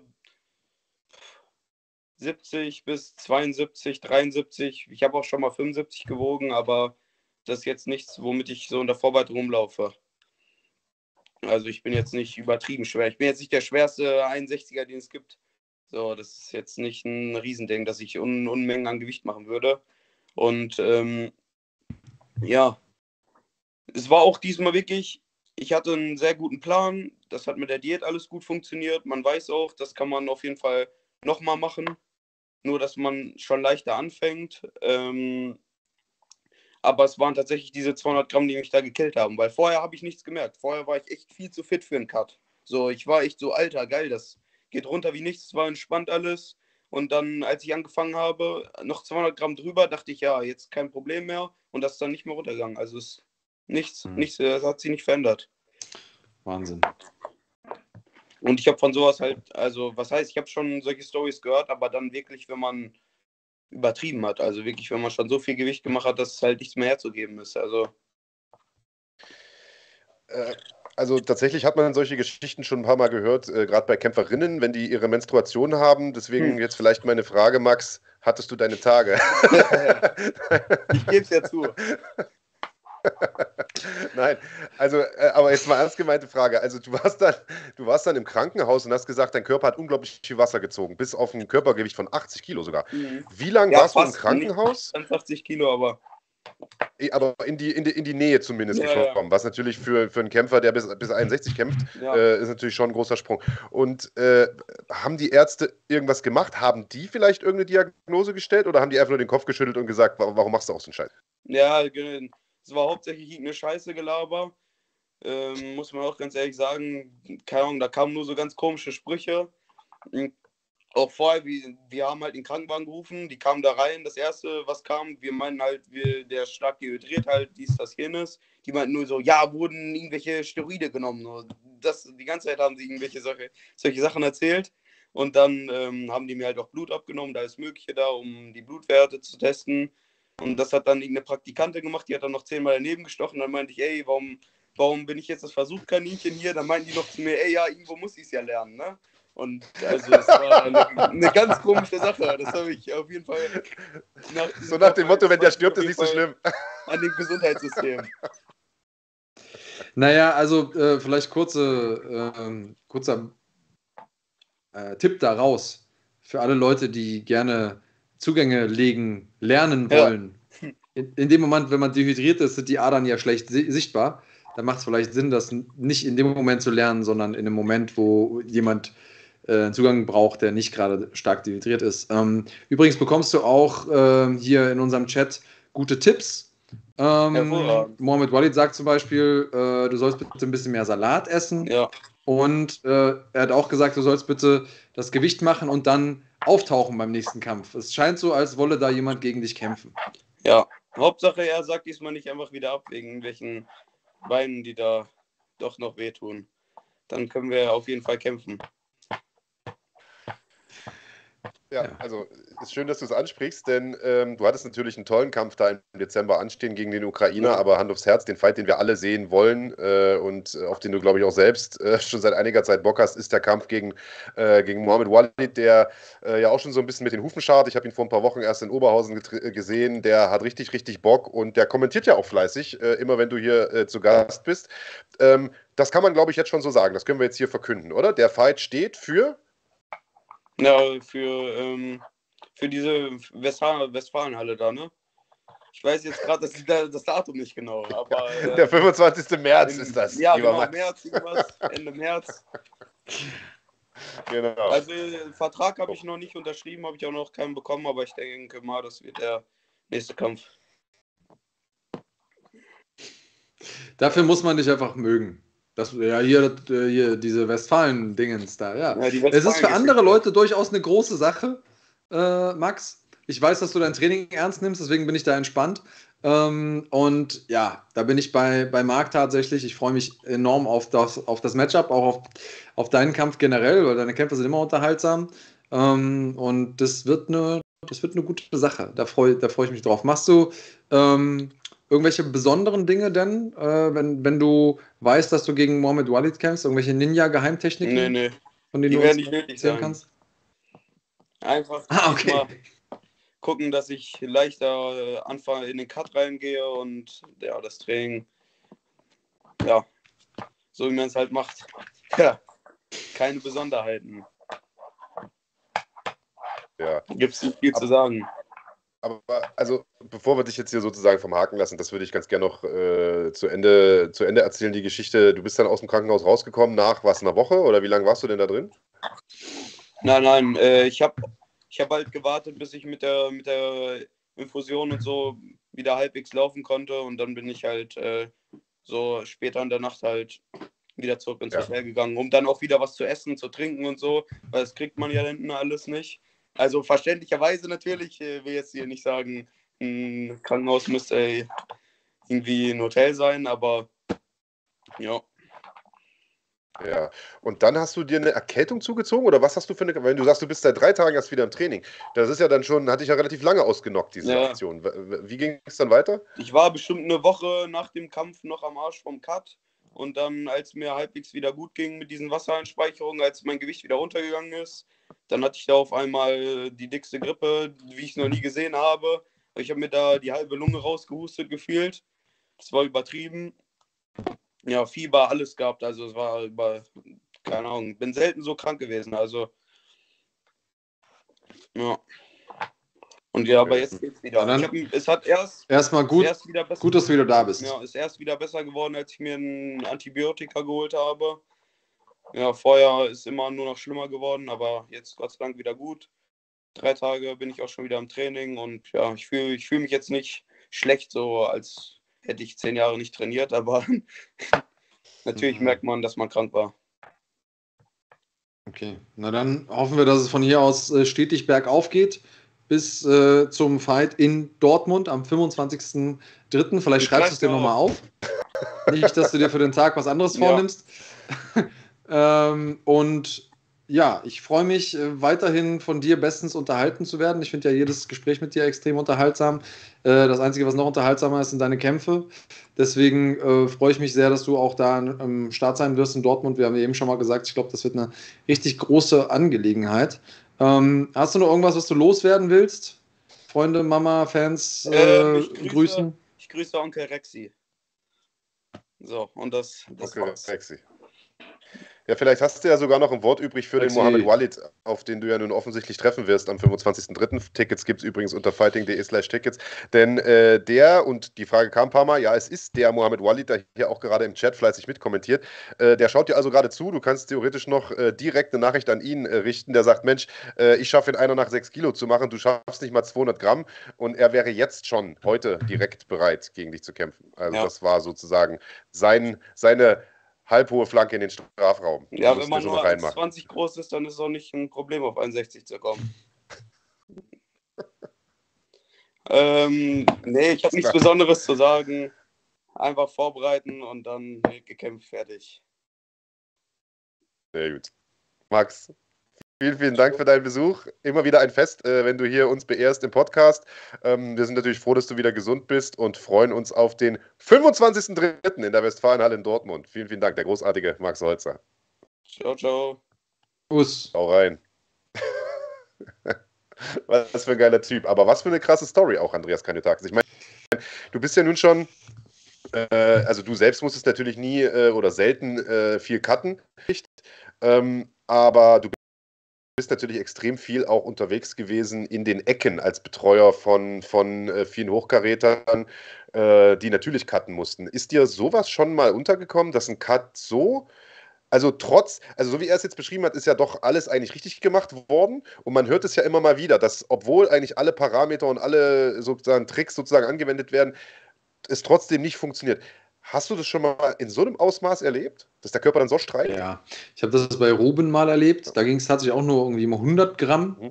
Um, aber das, also der hatte, ich weiß nicht, wie viele Weightcuts schon hinter sich und der war so jemand, ähm, der mir noch sehr viele Sachen übers Cutten beigebracht hat. Der war einfach ein absoluter Ernährungsnerd und kannte seinen, seinen Körper extrem gut, hat auch Buch geführt über alles und ja, du machst es zehnmal, beim elften Mal machst du genau dasselbe und auf einmal reagiert dein Körper anders. Und das, also es ist tatsächlich, also nicht, nicht immer nur dann, wenn äh, Frauen ihre Periode haben, sondern das passiert, man, manchmal ist dein Körper anders eingestellt, weiß ich nicht. Ähm, und ähm, ja, das haben wir hier und da auch schon mal in der UFC erlebt. Manchmal reagieren Körper anders und äh, das ist letzten Endes ein großes, großes Mysterium. Ähm, sowas kann passieren, aber das ist natürlich auch gefährlich. Also das, äh, das Kämpfen an sich ist gefährlich, aber viel gefährlicher ist eigentlich der Weight Cut. Aber ich glaube, dann an dem Punkt jemanden an der Seite zu haben, zu sagen, hey Leute, wir müssen jetzt hier einmal Stopp machen, weil ansonsten wird es zu gefährlich. Das ist schon sehr, sehr wichtig. Ähm, ja, und jetzt bin ich mal gespannt, wie wir da den Bogen spannen zu ähm, jemanden, der die letzten 200 Gramm unbedingt schaffen wollte und das nicht geschafft hat äh, und sich deswegen fertig gemacht hat, sodass er ins Krankenhaus gekommen ist, zu einem Mann, der vielleicht die kontroverseste Figur war rund um die letzte Veranstaltung, die wir am 17.12. hatten. Und äh, das, obwohl er gar nicht gekämpft hat. und äh, jetzt äh, bin ich extrem gespannt, was er zu erzählen hat. Und äh, Marc, weil es deine Aufgabe ist, äh, hol doch unseren nächsten Gast, Gast rein. Ja, ich bin sehr, sehr froh, dass äh, Anastasios Ratsioliadis äh, heute bei uns zu Gast ist, denn wir haben über diesen verpatzten Weightcut von der letzten Veranstaltung ja schon äh, groß und breit gesprochen. Wir haben im Grunde jeden Beteiligten zu Wort kommen lassen, inklusive auch Maurice Adolf, der wahrscheinlich am ehesten davon auch betroffen war, der natürlich total angefressen war. Nur einen nicht, nämlich äh, Tasso. Und das gehört sich nicht. Der soll natürlich auch, äh, der soll natürlich auch sein, seine Sätze hier sagen äh, dürfen. wir hätten das Ganze auch schon viel, viel eher gemacht, aber ähm, wir haben eine Aktion abgewartet, die ich persönlich sehr, sehr löblich finde. Äh, Tasso hat nämlich einen Weight Cut bei sich zu Hause gemacht, einen Test-Weight-Cut sozusagen, um zu schauen, ob er dieses, oder um sich selbst und allen anderen auch zu beweisen, dass er dieses äh, Federgewichtslimit schaffen kann. Und genau diesen Test-Weight-Cut haben wir abgewartet. Der ist geglückt und jetzt haben wir ihn heute hier in der Sendung, der großartige Tasso, Anastasios Razioliades. Sei gegrüßt, mein Lieber. Hallo alle zusammen.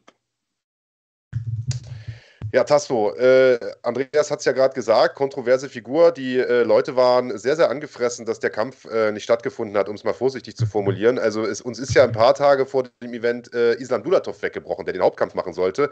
Äh, Riesenfight, Titelkampf und so weiter. Aber das Echo war gar nicht so schlimm die meisten haben ihm gute Besserung gewünscht, alles okay. Und also der Aufreger war gar nicht so, äh, so groß. Aber als dann der Adolf-Tasso-Kampf weggebrochen ist, äh, da habe ich gedacht, die zünden uns den Laden an. Also, das ist natürlich einerseits auch ein Lob für dich irgendwo, weil die Leute echt Bock hatten auf diesen Kampf. Also mich eingeschlossen. Ich habe da richtig Bock drauf gehabt. Äh, am Ende äh, hast du da natürlich, aber war es natürlich der Prügelklabe der Nation, weil alle gesagt haben: Mensch, der Tasso, äh, wie kann der das denn bringen? Jetzt erzähl uns doch bitte diese Geschichte erstmal aus deiner Sicht. Was genau ist an diesem Tag passiert? Also, also Bezug um, auf den Weightcut. Genau. Also von Anfang an zu stellen, äh, es war meine Schuld, es war mein Fehler. Das auf jeden Fall gebe ich zu. Es war so, das war die Kampfwoche, sage ich mal. Ist nicht so gut gelaufen mit dem Schwitzen und dem ganzen Karten, weil ich mich bisschen, ich wurde ein bisschen krank und hat nicht alles zusammen gepasst. Soll jetzt keine Ausrede sein. Uns auf jeden Fall gesagt von mir. Und dann am Wagetag dachten wir, dass wir jetzt einfach alles rausholen müssen. Aber da hat es einfach nicht funktioniert. Also der Körper wollte nicht das Wasser geben, sage ich mal. Und wir haben alles probiert und dann haben wir uns ein bisschen vereinigt auf einer anderen Gewichtsklasse, 67, äh, 67 Kilo. Und ja, hin und her nach den ganzen Karten und nach den ganzen Saundurchgängen haben wir am Ende leider nur äh, 68,3 geschafft. Und ja, so wurde der Kampf nicht statt. Jetzt äh, für, für mich nochmal irgendwie zum, zum langsamen Mitschreiben, weil das ist ja ähm, auch was, wo die Timeline aus meiner Sicht eine sehr, sehr wichtige Rolle spielt. Also generell ist, glaube ich, ähm, von den Zeiten her selten etwas so wichtig im Leben eines Kämpfers wie der Tag der Waage. Also da geht es ja, ja, wirklich um, um Minuten für manche Leute. Ähm, und manche Leute sind so gut, dass sie wirklich nur sagen wir 20 Minuten, eine halbe Stunde das Gewicht haben und dann aber auch schon wieder mit dem Aufladen beginnen. Also da, da, da ist ja alles sehr sensibel. An welchem Punkt war euch denn klar, weil das ist nämlich auch ein, ähm, ein Vorwurf, der an vielen Stellen irgendwie aufkam. Nee, klar, klar, klar. Wenn die doch gewusst haben, äh, die schaffen das Gewicht nicht, warum haben die nicht vorher Bescheid gesagt? Dann hätte man sich vielleicht vorher darauf einstellen können, dann hätte vielleicht auch Maurice gar nicht das Gewicht machen müssen. Ähm, aber er war ja auch so angefressen, weil er gesagt hat, ey, ich habe mir den ganzen Kram gegeben. Hätte ich das vorher gewusst, hätte ich wenigstens gesagt, okay, der macht auch zwei Kilo weniger. Also, wann war für euch klar, wir schaffen das nicht? Das war echt wirklich am Waagetag, weil ich äh, bin eine Person, die eigentlich viel am Waagetag macht. Auch bei meinen anderen Kämpfen habe ich viel am Waagetag immer gemacht. Es ist doch immer alles gut funktioniert, aber es halt nicht, hat es gar nicht funktioniert.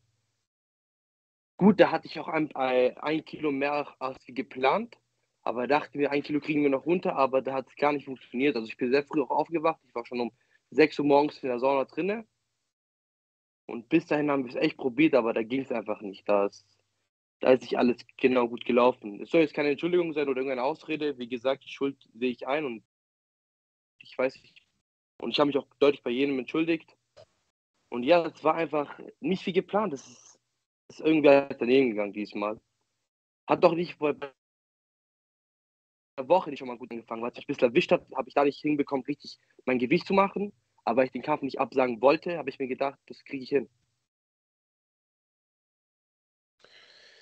Jetzt gab es ja verschiedene Versionen, wie viel Kilo du am Ende tatsächlich hattest. Also das erste, was rauskam, war, der ist fünf Kilo zu schwer. Äh, dann kam, ich glaube, aus eurer Ecke, also aus der Ecke deines Teams, nee, nee, Moment, es waren äh, nur in Anführungsstrichen 1, äh, 1, irgendwas. Jetzt hattest du gerade, äh, dann hatten wir mit Maurice Adolf gesprochen, der gesagt hat, naja, Moment, 1, irgendwas über diesen danach vereinbarten Catchweight, was ja in Summe dann trotzdem fast 4 Kilo sind. Und du hattest jetzt nochmal eine komplett andere Zahl gesagt, ich glaube 68,3 oder so, wenn ich das richtig verstanden habe. Wenn nicht, genau. dann korrigiere mich gerne. Also Wie viel hattest du genau? Also am Ende des Tages, Max Merten und die Gauen waren ja auch dabei bei der Waage, hatte ich auf der Waage stehen 68,3. Das, das war das letzte Gewicht, wo ich mich angewogen habe. Da war der Max Merten dabei und die Gama auch. Das war das letzte Also Gewicht. zweieinhalb Kilo über dem Federgewichtslimit, wenn man so will. Genau, wenn man so will. Und wo, wo kommt dann diese 5 Kilo oder 4,5 Kilo Geschichte her? Wo, wo Also, kommt das her? Es also wenn man das genau betrachten will, war das ja so, wir haben uns gewogen und der Maurice, der kam ja mit der 65, Komma irgendwas. Also er war ja leichter als schon die Gewichtsklasse ist. Und so hat er es hochgerechnet. Und am Ende des Tages, wo ich, ich habe ich hab ja auch ein bisschen mehr Zeit von seinem Team bekommen, habe ich mich auch klar bedankt. Und am Ende des Tages, wo ich mich zuletzt gewogen habe, hatte ich auf der Waage 68,3 stehen. Und wir hatten dann auf 67 geeinigt. Und ähm, in der, sagen wir, einem Tag nach dem Kampf, nach dem Event, ähm, gab es einen Post von dir. Bis zu dem Post war Maurice, sag ich mal, ein bisschen enttäuscht, äh, ein bisschen traurig. Kann ich auch Aber er hat dich ja auch noch, aber er hat dich auch noch so ein bisschen in Schutz genommen. Hat so ein bisschen gesagt, so, ey, hackt nicht auf dem Tasso rum, das kann jedem mal passieren, wer weiß, ne? Ähm, aber nach dem Post von dir, ähm, in dem du irgendwie gesagt so ein bisschen deine, ich, du kannst gleich, kannst gleich antworten, ich mache nur das Thema einmal auf, weil vielleicht nicht alle im Thema drin sind. Ähm, ähm, in, dem, in deinem Post hast du sinngemäß sowas gesagt wie, ach jetzt komm, hat er, hat er irgendwie nur wegen so ein bisschen Gewicht, 1,3 Kilo oder was auch immer du da geschrieben hast, hat er den Kampf nicht gemacht. Und da gar, kam so ein bisschen unterschwellig die Idee auf, naja, wahrscheinlich wollte er den Kampf deswegen nicht, sonst hätte er es ja gemacht. Nee, Ähm, das war ein bisschen anders war das so betrachtet. gemeint und hast Nein, du damit nein. gerechnet, dass er das so auffasst? Nee, das war anders betrachtet, auch anders alles formuliert, aber wie es aussieht, hat, haben es viele falsch verstanden. Und zwar äh, habe ich ja auch in meinem Post ganz groß geschrieben, dass ich vollkommen und ganz verstehe und nachvollziehen kann, dass der Maurice den Kampf nicht zugesagt hat. Dass es meine Schuld war, dass der Kampf nicht stattgefunden hat, habe ich, habe ich mich auch entschuldigt und ich habe es auch ganz klar geschrieben, wenn man es genau gelesen hat, dass, ey, ich kann meinen Gegner verstehen, dass er den Kampf nicht annimmt. Das ist vollkommen gerecht. Danach habe ich nur geschrieben, nochmal an meinen Gegner, weil er ja erzählt hat, dass ich fünf Kilo drüber bin. Das war nur die Sache, wo ich mir dachte, ey, es sind ja keine fünf Kilo. Weil der Max Merten war dabei, die Gaben war dabei, wo auf die, auf die Waage am Ende des Tages 68,3 war. Und es sind ja keine fünf Kilo zu viel. Das war nur ge gesagt. Wie er es dann aufgenommen hat und sich dann umgespielt hat, ist noch was anderes. Kannst du das verstehen? Und darum ich kann ich kann schon verstehen, na klar, ich wäre auch sauer, sag ich mal, oder ein bisschen abgefuckt, na klar, hätte ich mich auf den Kampf gefreut, mehr Gewicht gebracht. Wie gesagt, an dem Tag war ich ja der Schuldige, also nicht Maurice, der kam ja hin, hat seine Sache super Gewicht gehabt, ich nicht. Also das war alles noch im okayen Bereich, nur was danach war, dieses, diese, diese Aussage, ey, er hatte fünf Kilo zu viel. Die stimmt ja nicht. Und das hat dich geärgert. geärgert, sag ich mal, ja, das war einfach in dem Moment, aber ich habe ich hab ihn nie irgendwie angreifen wollten oder hin und her, aber dann kam ja von seiner Seite plötzlich ja sehr viel Gerede und ja, alles schön und gut. Und darum haben wir gesagt, ich und mein Team, ey, okay, wenn es so ist, bringe ich über Weihnachten, Silvester mein Gewicht, zeigt es, ey, ich krieg mein Gewicht hin. Es war wirklich ein, ein Fehler, ein Aus das nie wieder vorkommen wird. Bring mein Gewicht und dann, ja, hat er den Beweis, dass ich mein Gewicht bringen kann. Und wie er so schön gesagt hat, dass er mir ja jetzt noch mehr gerne auf die Fresse hauen würde. Hier hast du den Beweis, ich bringe mein Gewicht. Und wenn du Bock hast, können wir es ja nachholen. Okay, das ist natürlich eine, eine wichtige Aussage, denn äh, das wäre jetzt auf jeden Fall die große Frage gewesen, die wahrscheinlich Andreas und ich beide auf unserem Zettel stehen haben. Also für dich ist das Thema nicht abgehakt, im Gegenteil, äh, der Kampf wäre für dich nach wie vor äh, Noch- noch, noch, noch interessant, der wäre für dich noch viel, noch, der ist noch interessant. Noch interessant. noch interessanter. Ja. Ja, für uns mit Sicherheit auch. Also ich glaube, äh, wir wären die Letzten, die dazu äh, Nein sagen würden. Ähm, ich, wir hatten natürlich auch im Vorfeld, äh, beziehungsweise dann nach dem Podcast, nach dem Event schon mit, mit Maurice drüber gesprochen, der sich ein bisschen zurückhaltend geäußert hat, weil er gesagt hat, naja, wer weiß, ob der das Gewicht packt. Ich habe keinen Bock, dann wieder dazustehen. Kann ich vollkommen verstehen. Kann Das hast du ja jetzt bewiesen. Darum das, das hast du- genau, das das hast kann du ich ja jetzt- vollkommen verstehen, dass er gemeint hat, ey, vielleicht bringt er sein Gewicht wieder. Das kann ich vollkommen verstehen. Darum das Beweisvideo. Ist, ey, ich Ja. habe mein Gewicht gebracht, ich schaffe es, das kannst du sehen. Und jetzt kannst du ja deine großen Worte handeln.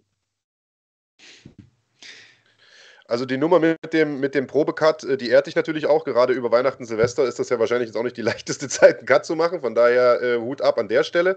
Ähm, aber trotzdem würde ich noch mal gerne auf den Event zurückkommen. Zweieinhalb Kilo, also selbst wenn es keine fünf Kilo waren, sondern nur in Anführungsstrichen zweieinhalb, ist natürlich trotzdem ja, viel ja, drüber, ne? Für, ein, für, ein, äh, für ein Federgewicht. Und ich, äh, also, du sagst jetzt, ein, einige haben vielleicht den Post so ein bisschen in den falschen Hals auch bekommen und so, aber äh, was natürlich passiert ist, ist, äh, es ist danach so ein bisschen bei einigen Leuten zumindest im Kopf so diese Vorstellung entstanden, naja, eigentlich ist der Adolf ja schuld, dass der Kampf nicht stattgefunden hat. Nein, Pisser, nein, was kackt er sich so ein wegen einer Pilo? Das hast du nicht gesagt, aber, es, aber einige Leute in, dem, in den Kommentaren haben das gesagt. Und ich glaube, das ist das, was ihn so extrem angefressen hat. Das kann ich gut verstehen, das kann ich vollkommen gut verstehen. Aber äh, wieder, ich wiederhole mich nochmal, wenn man den Post genau lesen wird oder genau in betrachtet, habe ich am Anfang ganz deutlich geschrieben, dass es meine Schuld ist, dass ich meinen Gegner vollkommen verstehen kann und es auch nachvollziehen kann, dass der Kampf nicht stattfindet.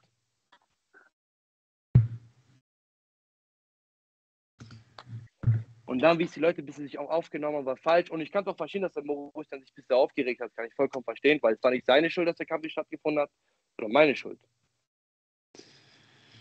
Tja, okay. Ich, ich sehe, du bist reuig und gleichzeitig ähm, hast du auf jeden Fall jetzt trotzdem noch ein bisschen mehr Lust, das Ganze zu machen. So habe ich, so hab ich das auch verstanden. Äh, wie schätzt du Maurice ein? Hast du da schon Vibes bekommen? Wie hoch ist die Wahrscheinlichkeit aus deiner Sicht, dass er das Ding annimmt? Äh, ich habe noch also keine Vibes bekommen. Ich hoffe, er nimmt das Ding an, auf jeden Fall. Ich hoffe echt, er nimmt, er nimmt den Kampf an. Und ja, das ist halt, die Karten sind in seiner Hand und wenn er sie spielen will, spielt er sie, wenn nicht, nicht, weil ich sag mal so, ja, dann hieß es ja plötzlich im Podcast danach, dass er mich attackieren würde und weiß, weiß ich alles. Und dass er jetzt noch mehr Bock hat, gegen mich zu kämpfen. Wenn das hier alles stimmt und sein sollte, wie er es so schön sagt und so groß redet. Ja, ich habe mein Gewicht wirklich gemacht, Beweis ist da, ich habe Bock.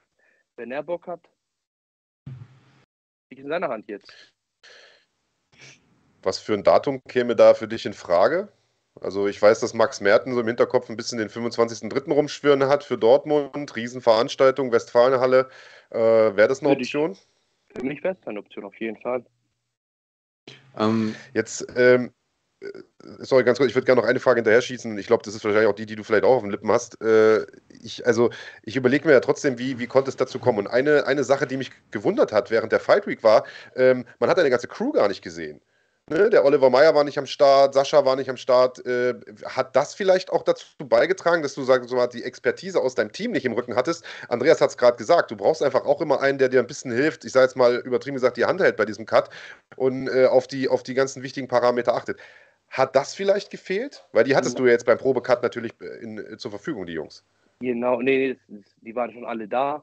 Nur ich bin ja einen Tag ein bisschen früh gegangen, weil es ein bisschen längerer Weg war von Stuttgart. Und mein Trainer wollte ganz normal nachkommen. Also das war, die waren alle da. Es war eher ein Fehler von mir aus, dass ich bis nicht früher Bescheid gegeben habe, dass ich bis erwischt hat und das Gewicht nicht so ganz hatte. Also nee, das war, das lag nicht am Team. Und der Oliver also, Meyer wollte ja auch ganz mal am Freitag. Am Freitag, aber normalerweise hätte, hättest du ihn ja am Donnerstag gebraucht, oder? Weil der Weightcut, der findet ja am Donnerstag statt. Oder hast du den nur am aber Freitagmorgen gemacht? Nein, ich habe schon Donnerstagabend angefangen. Mhm. ich habe schon Donnerstagabend angefangen. Aber ich hatte ja den, sag ich mal, meinen Weightcut-Partner da, der mhm. immer da ist. Okay. Damit wir das Weightcut macht, der war da. Okay. Ähm, ich habe mir jetzt nochmal deinen Post angeguckt. Ähm, weil es geht ja auch so ein bisschen um die Frage, ähm, wer hat zuerst geschossen, sag ich mal. Ne? Also äh, ich hatte ja durchaus ich wahrgenommen. Ich würde es nicht schießen nennen, sorry, dass ich unterbreche, ich würde es jetzt nicht schießen mhm. nennen. Also von mir aus war das die ganze Zeit also nicht irgendwie gedacht, jetzt, dass es jetzt so ausgeht und plötzlich so ein sozialer Medienkrieg, sag ich mal, stattfindet, hätte ich nicht gedacht jetzt, aber da, darum habe ich auch danach nicht mehr darauf geantwortet, weil es mir schon zu, nicht lächerlich wurde, aber irgendwie zu viel für soziale Medien, dachte ich mir auch, komm. Also darf ich nur mal ganz kurz einen, den mittleren Teil vorlesen von deiner Nachricht? Klar, klar, klar. Ja, da steht, ähm, mein Gegner wollte auch keine Kompromisse eingehen, kann ich auch gut verstehen. Sportlich betrachtet ist es meine Schuld und es tut mir unfassbar leid für jeden. Mit zwei Ausrufezeichen. Und ich glaube, jetzt kommt der Satz, der ihn ein bisschen getriggert hat. Aber wer sein Comeback geben will und es ernst meint, würde für 1,7 Kilo Unterschied trotzdem zusagen. Hundertprozentig. Ja, das war wegen den 5 Kilo, weil er sich geäußert hat, dass ich 5 Kilo ja zu viel habe.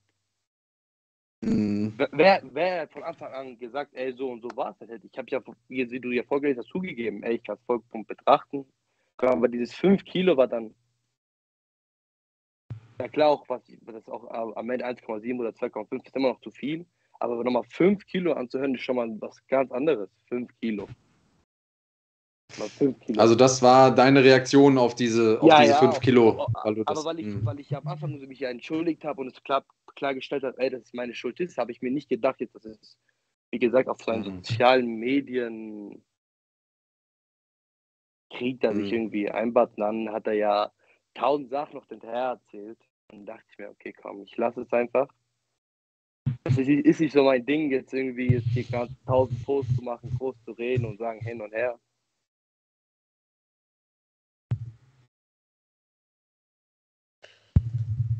Ja, also wir haben ja natürlich zwei widersprüchliche Stories. Also mich wundert es halt immer noch, wo diese 400 Kilo herkommen. Die muss sich ja irgendeiner ausgedacht haben. Äh, Fakt ist, es ehrt dich, das habe ich ja gerade schon gesagt, diesen, diesen Probe-Weight-Cut zu machen. Ähm, Was heißt, und ich sag mal, sollte dieser... Ich unterbreche. Was heißt ehrt mich? Also ich, ja, halt ich, ich finde, ich bin es schuldig an meinen Gegner, an den Zuschauer, an der FC-Veranstaltung. Es soll nicht mich ehren, es soll einfach nicht auch keine Entschuldigung sein, aber nur ich, ich fand, ich bin es schuldig, jedem nochmal zu zeigen, ey, es war echt ein Fehler, das war nicht meine Absicht, ich schaffe mein Gewicht wirklich. Hier habt ihr den Nachweis. Und ja. Ich sag mal, sollte dieser Kampf jetzt zustande kommen und ich bin da jetzt einfach mal relativ optimistisch. Ich glaube, dass wir das irgendwie hinbekommen, den Kampf vielleicht für Dortmund zu machen. Äh, dann ist er durch diese ganze Nummer natürlich nur noch interessanter geworden. Das kann man, glaube ich, das kann man, glaube ich, ohne Fug und Recht sagen.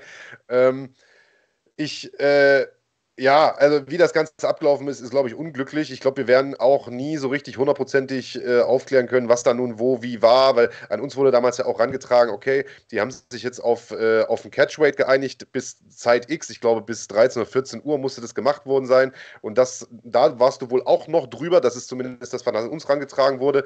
Ähm, kannst, du das, kannst du dazu vielleicht noch einen Satz sagen, bevor wir den Deckel drauf machen? Auch, das habe ich, auch nicht verstanden. Das habe ich auch nicht verstanden, habe ich auch mitbekommen am Ende des Tages.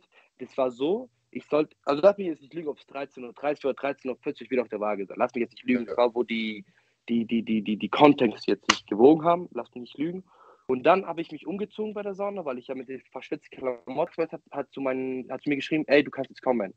Und in dem Moment habe ich mich kurz schnell umgezogen, weil ich ja jetzt nicht mit dem Schwitteranzug und hin und her gehen wollte und bin hingelaufen. Und dann war ich da, habe mich eingewogen neben Max Merten und der Gama und ja, da war ich, wie gesagt, da. Also, dass ich am Ende, am Ende des Tages ich da aufgeschrieben bin, das war jetzt nicht so. Das können, ja, das, wie gesagt, habe ich dann auch nie so richtig verstanden, aber ja. bin auch nie nach, nach hinten irgendwie hingegangen zu gucken, hey, was, was war jetzt da oder nicht. Da hat mir der, der Max Merten geschrieben, hey, du kannst jetzt kommen und dann bin ich auch weich auf dem Weg. Tja, ich finde, äh, Marc hat das gut zusammengefasst. Das war enorm unglücklich. Äh, aber wie das so im MMA ist, äh, jetzt wie die Karten ähm, ausge, ausgeteilt wurden, äh, muss man sagen, vielleicht ist es am Ende des Tages nur eine Vorbereitung für noch einen größeren äh, Kampf, der noch mehr Aufmerksamkeit auf sich ist noch von ein paar Dingen abhängig. Also äh, du hast ja gesagt, ne, der, der, Vertrag ist noch nicht unterschrieben. Zumindest kann Maurice ja jetzt nicht sagen, okay, ich weiß nicht, ob er das Gewicht schafft, weil dafür gibt es jetzt das, äh, das Beweisvideo. Ähm, und ich bin sehr gespannt, ob das so stattfinden wird. Ob jetzt am 25.03. in Dortmund, ob irgendwann anders. Ich, keine Ahnung, ich würde mich würde Sag mal so, wenn er ja, wenn er ja seine großen Wörter so ernst meint, wie der dann am Ende alles rausgeschossen hat, dann würde er ja den Kampf annehmen. So sehr ballern will, mal gucken, wer mehr ballern kann. Das würde ich sehr, sehr gerne herausfinden, lieber Tasso, und hoffe, hoffe deshalb, äh, dass es zu diesem Kampf kommt. Ähm, Vielen, vielen Dank erstmal, dass du dich heute hier gestellt hast. Auch das ist keine Selbstverständlichkeit, weil es war ja im Vorfeld schon klar, äh, dass das jetzt nicht unbedingt das einfachste Gespräch wird. Ähm, ich glaube, wir konnten ein bisschen Licht ins Dunkel bringen. Äh, also beim ersten Mal wiegen deutlich drüber, mit 4,5, 5 Kilo weiß der Fuchs was. Beim zweiten Mal immer noch knappe 2,5 drüber, was immer noch nicht ohne ist. Äh, aber äh, die Lehren offensichtlich draus gezogen, Probe Weight Cut geschafft. Das heißt, das war ja auch, das muss man dazu sagen, der erste Kampf wäre das gewesen im Federgewicht. Ne? Das war das genau. erste Mal, dass du das mitmachst. Genau, genau. Ja. Genau. Dann haben wir jetzt die Bestätigung, dass das also auch funktioniert. Das war ja das große Fragezeichen, was noch im Weg stand äh, einer Neueinsetzung, äh, einer Neuansetzung dieses Kampfes. Äh, das heißt, ich hoffe, wir schaffen dieses Duell nachzuholen, im besten Fall am 25. März in äh, Dortmund. Ich habe keine weiteren Fragen. Äh, der Kollege Staatsanwalt hier drüben, glaube ich, auch nicht, oder? Nein. Gut. Dann würde ich sagen, entlassen wir dich hiermit. Äh, letzte Wort gehört natürlich wie immer dir. Nee, ich will mich nochmal noch mal bei jedem entschuldigen, der am Tag da war oder hinreisen wollte, der den Cup angucken wollte, das leider mein Gewicht nicht geschafft habe. Es ist einmal passiert, es wird nie wieder vorkommen. Das könnt ihr mir glauben. Und ja, freuen wir uns alle, dass der Maurice den Kampf zusagt. Geht die Show richtig los. Ja. Der Ball liegt jetzt sozusagen äh, in der Hälfte von Maurice. Mal sehen, ob er äh, ihn zurückspielt. Wir bleiben da auf jeden Fall dran. Tasso, dir erstmal vielen Dank. Schönen Sonntag noch. Äh, komm gut in die neue Woche. Ciao, ciao. Hau erst mal rein und ich glaube, das war ein wichtiges Gespräch, Andreas Kranjotakis, für, für alle Beteiligten irgendwie auch, weil ich glaube, was den meisten Leuten äh, damals äh, oder vor ein paar Wochen so richtig sauer aufgestoßen ist, war gar nicht mal unbedingt das verpatzte Gewicht an sich, weil ich glaube, jeder, der in der Materie drinsteckt, der sagt irgendwie, ja komm, kann halt mal passieren, so nach dem Motto. Ist äh, selbst den Besten schon irgendwie auch passiert, soll nicht passieren, schon gar nicht in dem Ausmaß, aber kann. Ich glaube, das hätten ich glaube, da hätten einige Leute noch Verständnis dafür gehabt, nicht alle, aber einige. Ähm, zumindest ein gewisses Maß an Verständnis. Ich glaube, was den meisten auf den Sack gegangen ist, inklusive Maurice, war dann hinterher diese Aktion. Ich meine, du hast die betreffende Stelle jetzt gerade nochmal vorgelesen. Äh, und ich fand, da kam Tasso jetzt aber deutlich reflektierter rüber in diesem, in diesem Gespräch. Hattest du das, äh, das Gefühl auch? Ja, also das geschriebene Wort ist ja tückisch. Ähm, ich kann ja. mir vorstellen, dass auch rund um diesen verpatzten Weightcut, der auch Tasso geärgert haben dürfte, äh, er entweder so aufgeheizt war, dass er das einfach geschrieben hat oder auch so gemeint hat. Ich kann mir aber auch vorstellen, dass er das im Endeffekt so gemeint hat, wie er es jetzt gerade geschrieben hat, aber am Ende des Tages als einfach in der Formulierung anders rüberkam. Beide Varianten sind denkbar. Ähm, so oder so haben wir ähm, jetzt noch ein bisschen mehr Buzz rund um den Kampf. Ob das jetzt da der Kampf ist, den äh, Max Merten machen wird, ob es der Kampf ist, den auch ähm, Maurice machen will und wo er zustimmt. Denn auch da muss man sagen, natürlich könnte der jetzt, hätte der Fug und Recht zu sagen, ich will das nicht, aus Gründen. So, da würde jetzt auch keiner sagen, äh, du hast Angst vor Tasso oder so, sondern da könnte man immer sagen, okay, hm, ja, äh, kann, man, kann man vielleicht auch verstehen. Um, ähm, aber ich fände es schon cool. Ich fände es schon gut. Na, voll. Voll, Alter. Ja, Mann, dieses Federgewicht ist schon eine, ist schon eine stabile Gewichtsklasse. Also ich, äh, du hast ja vorhin dieses Turnier, diesen Vorschlag da von einem unserer User da mal rezitiert. Also wenn man mal guckt, was für Federgewichte wir mittlerweile im Stall haben, das ist schon, äh, das ist schon stabil. Also da kann man schon, da kann man im Jahr 2023 stabil planen. Ähm, ja, und Tasso gegen Adolf ist natürlich ein äh, fanfreundlicher Kampf auch einfach. Also ich hoffe schon, äh, dass der es noch äh, auf die Card schafft am 25.03. Ähm, ja, das Jahr beginnt spannend, ne? kann man nicht anders sagen. Ähm, und ich glaube, wir sind damit auch für heute am Ende der Sendung angelangt. Äh, Nochmal die Erinnerung, am 18. Februar startet das Wettkampfjahr für uns hier bei Fighting mit dem Event in Bonn. Tickets gibt es auch noch, fighting.de slash Tickets Hauptkampf.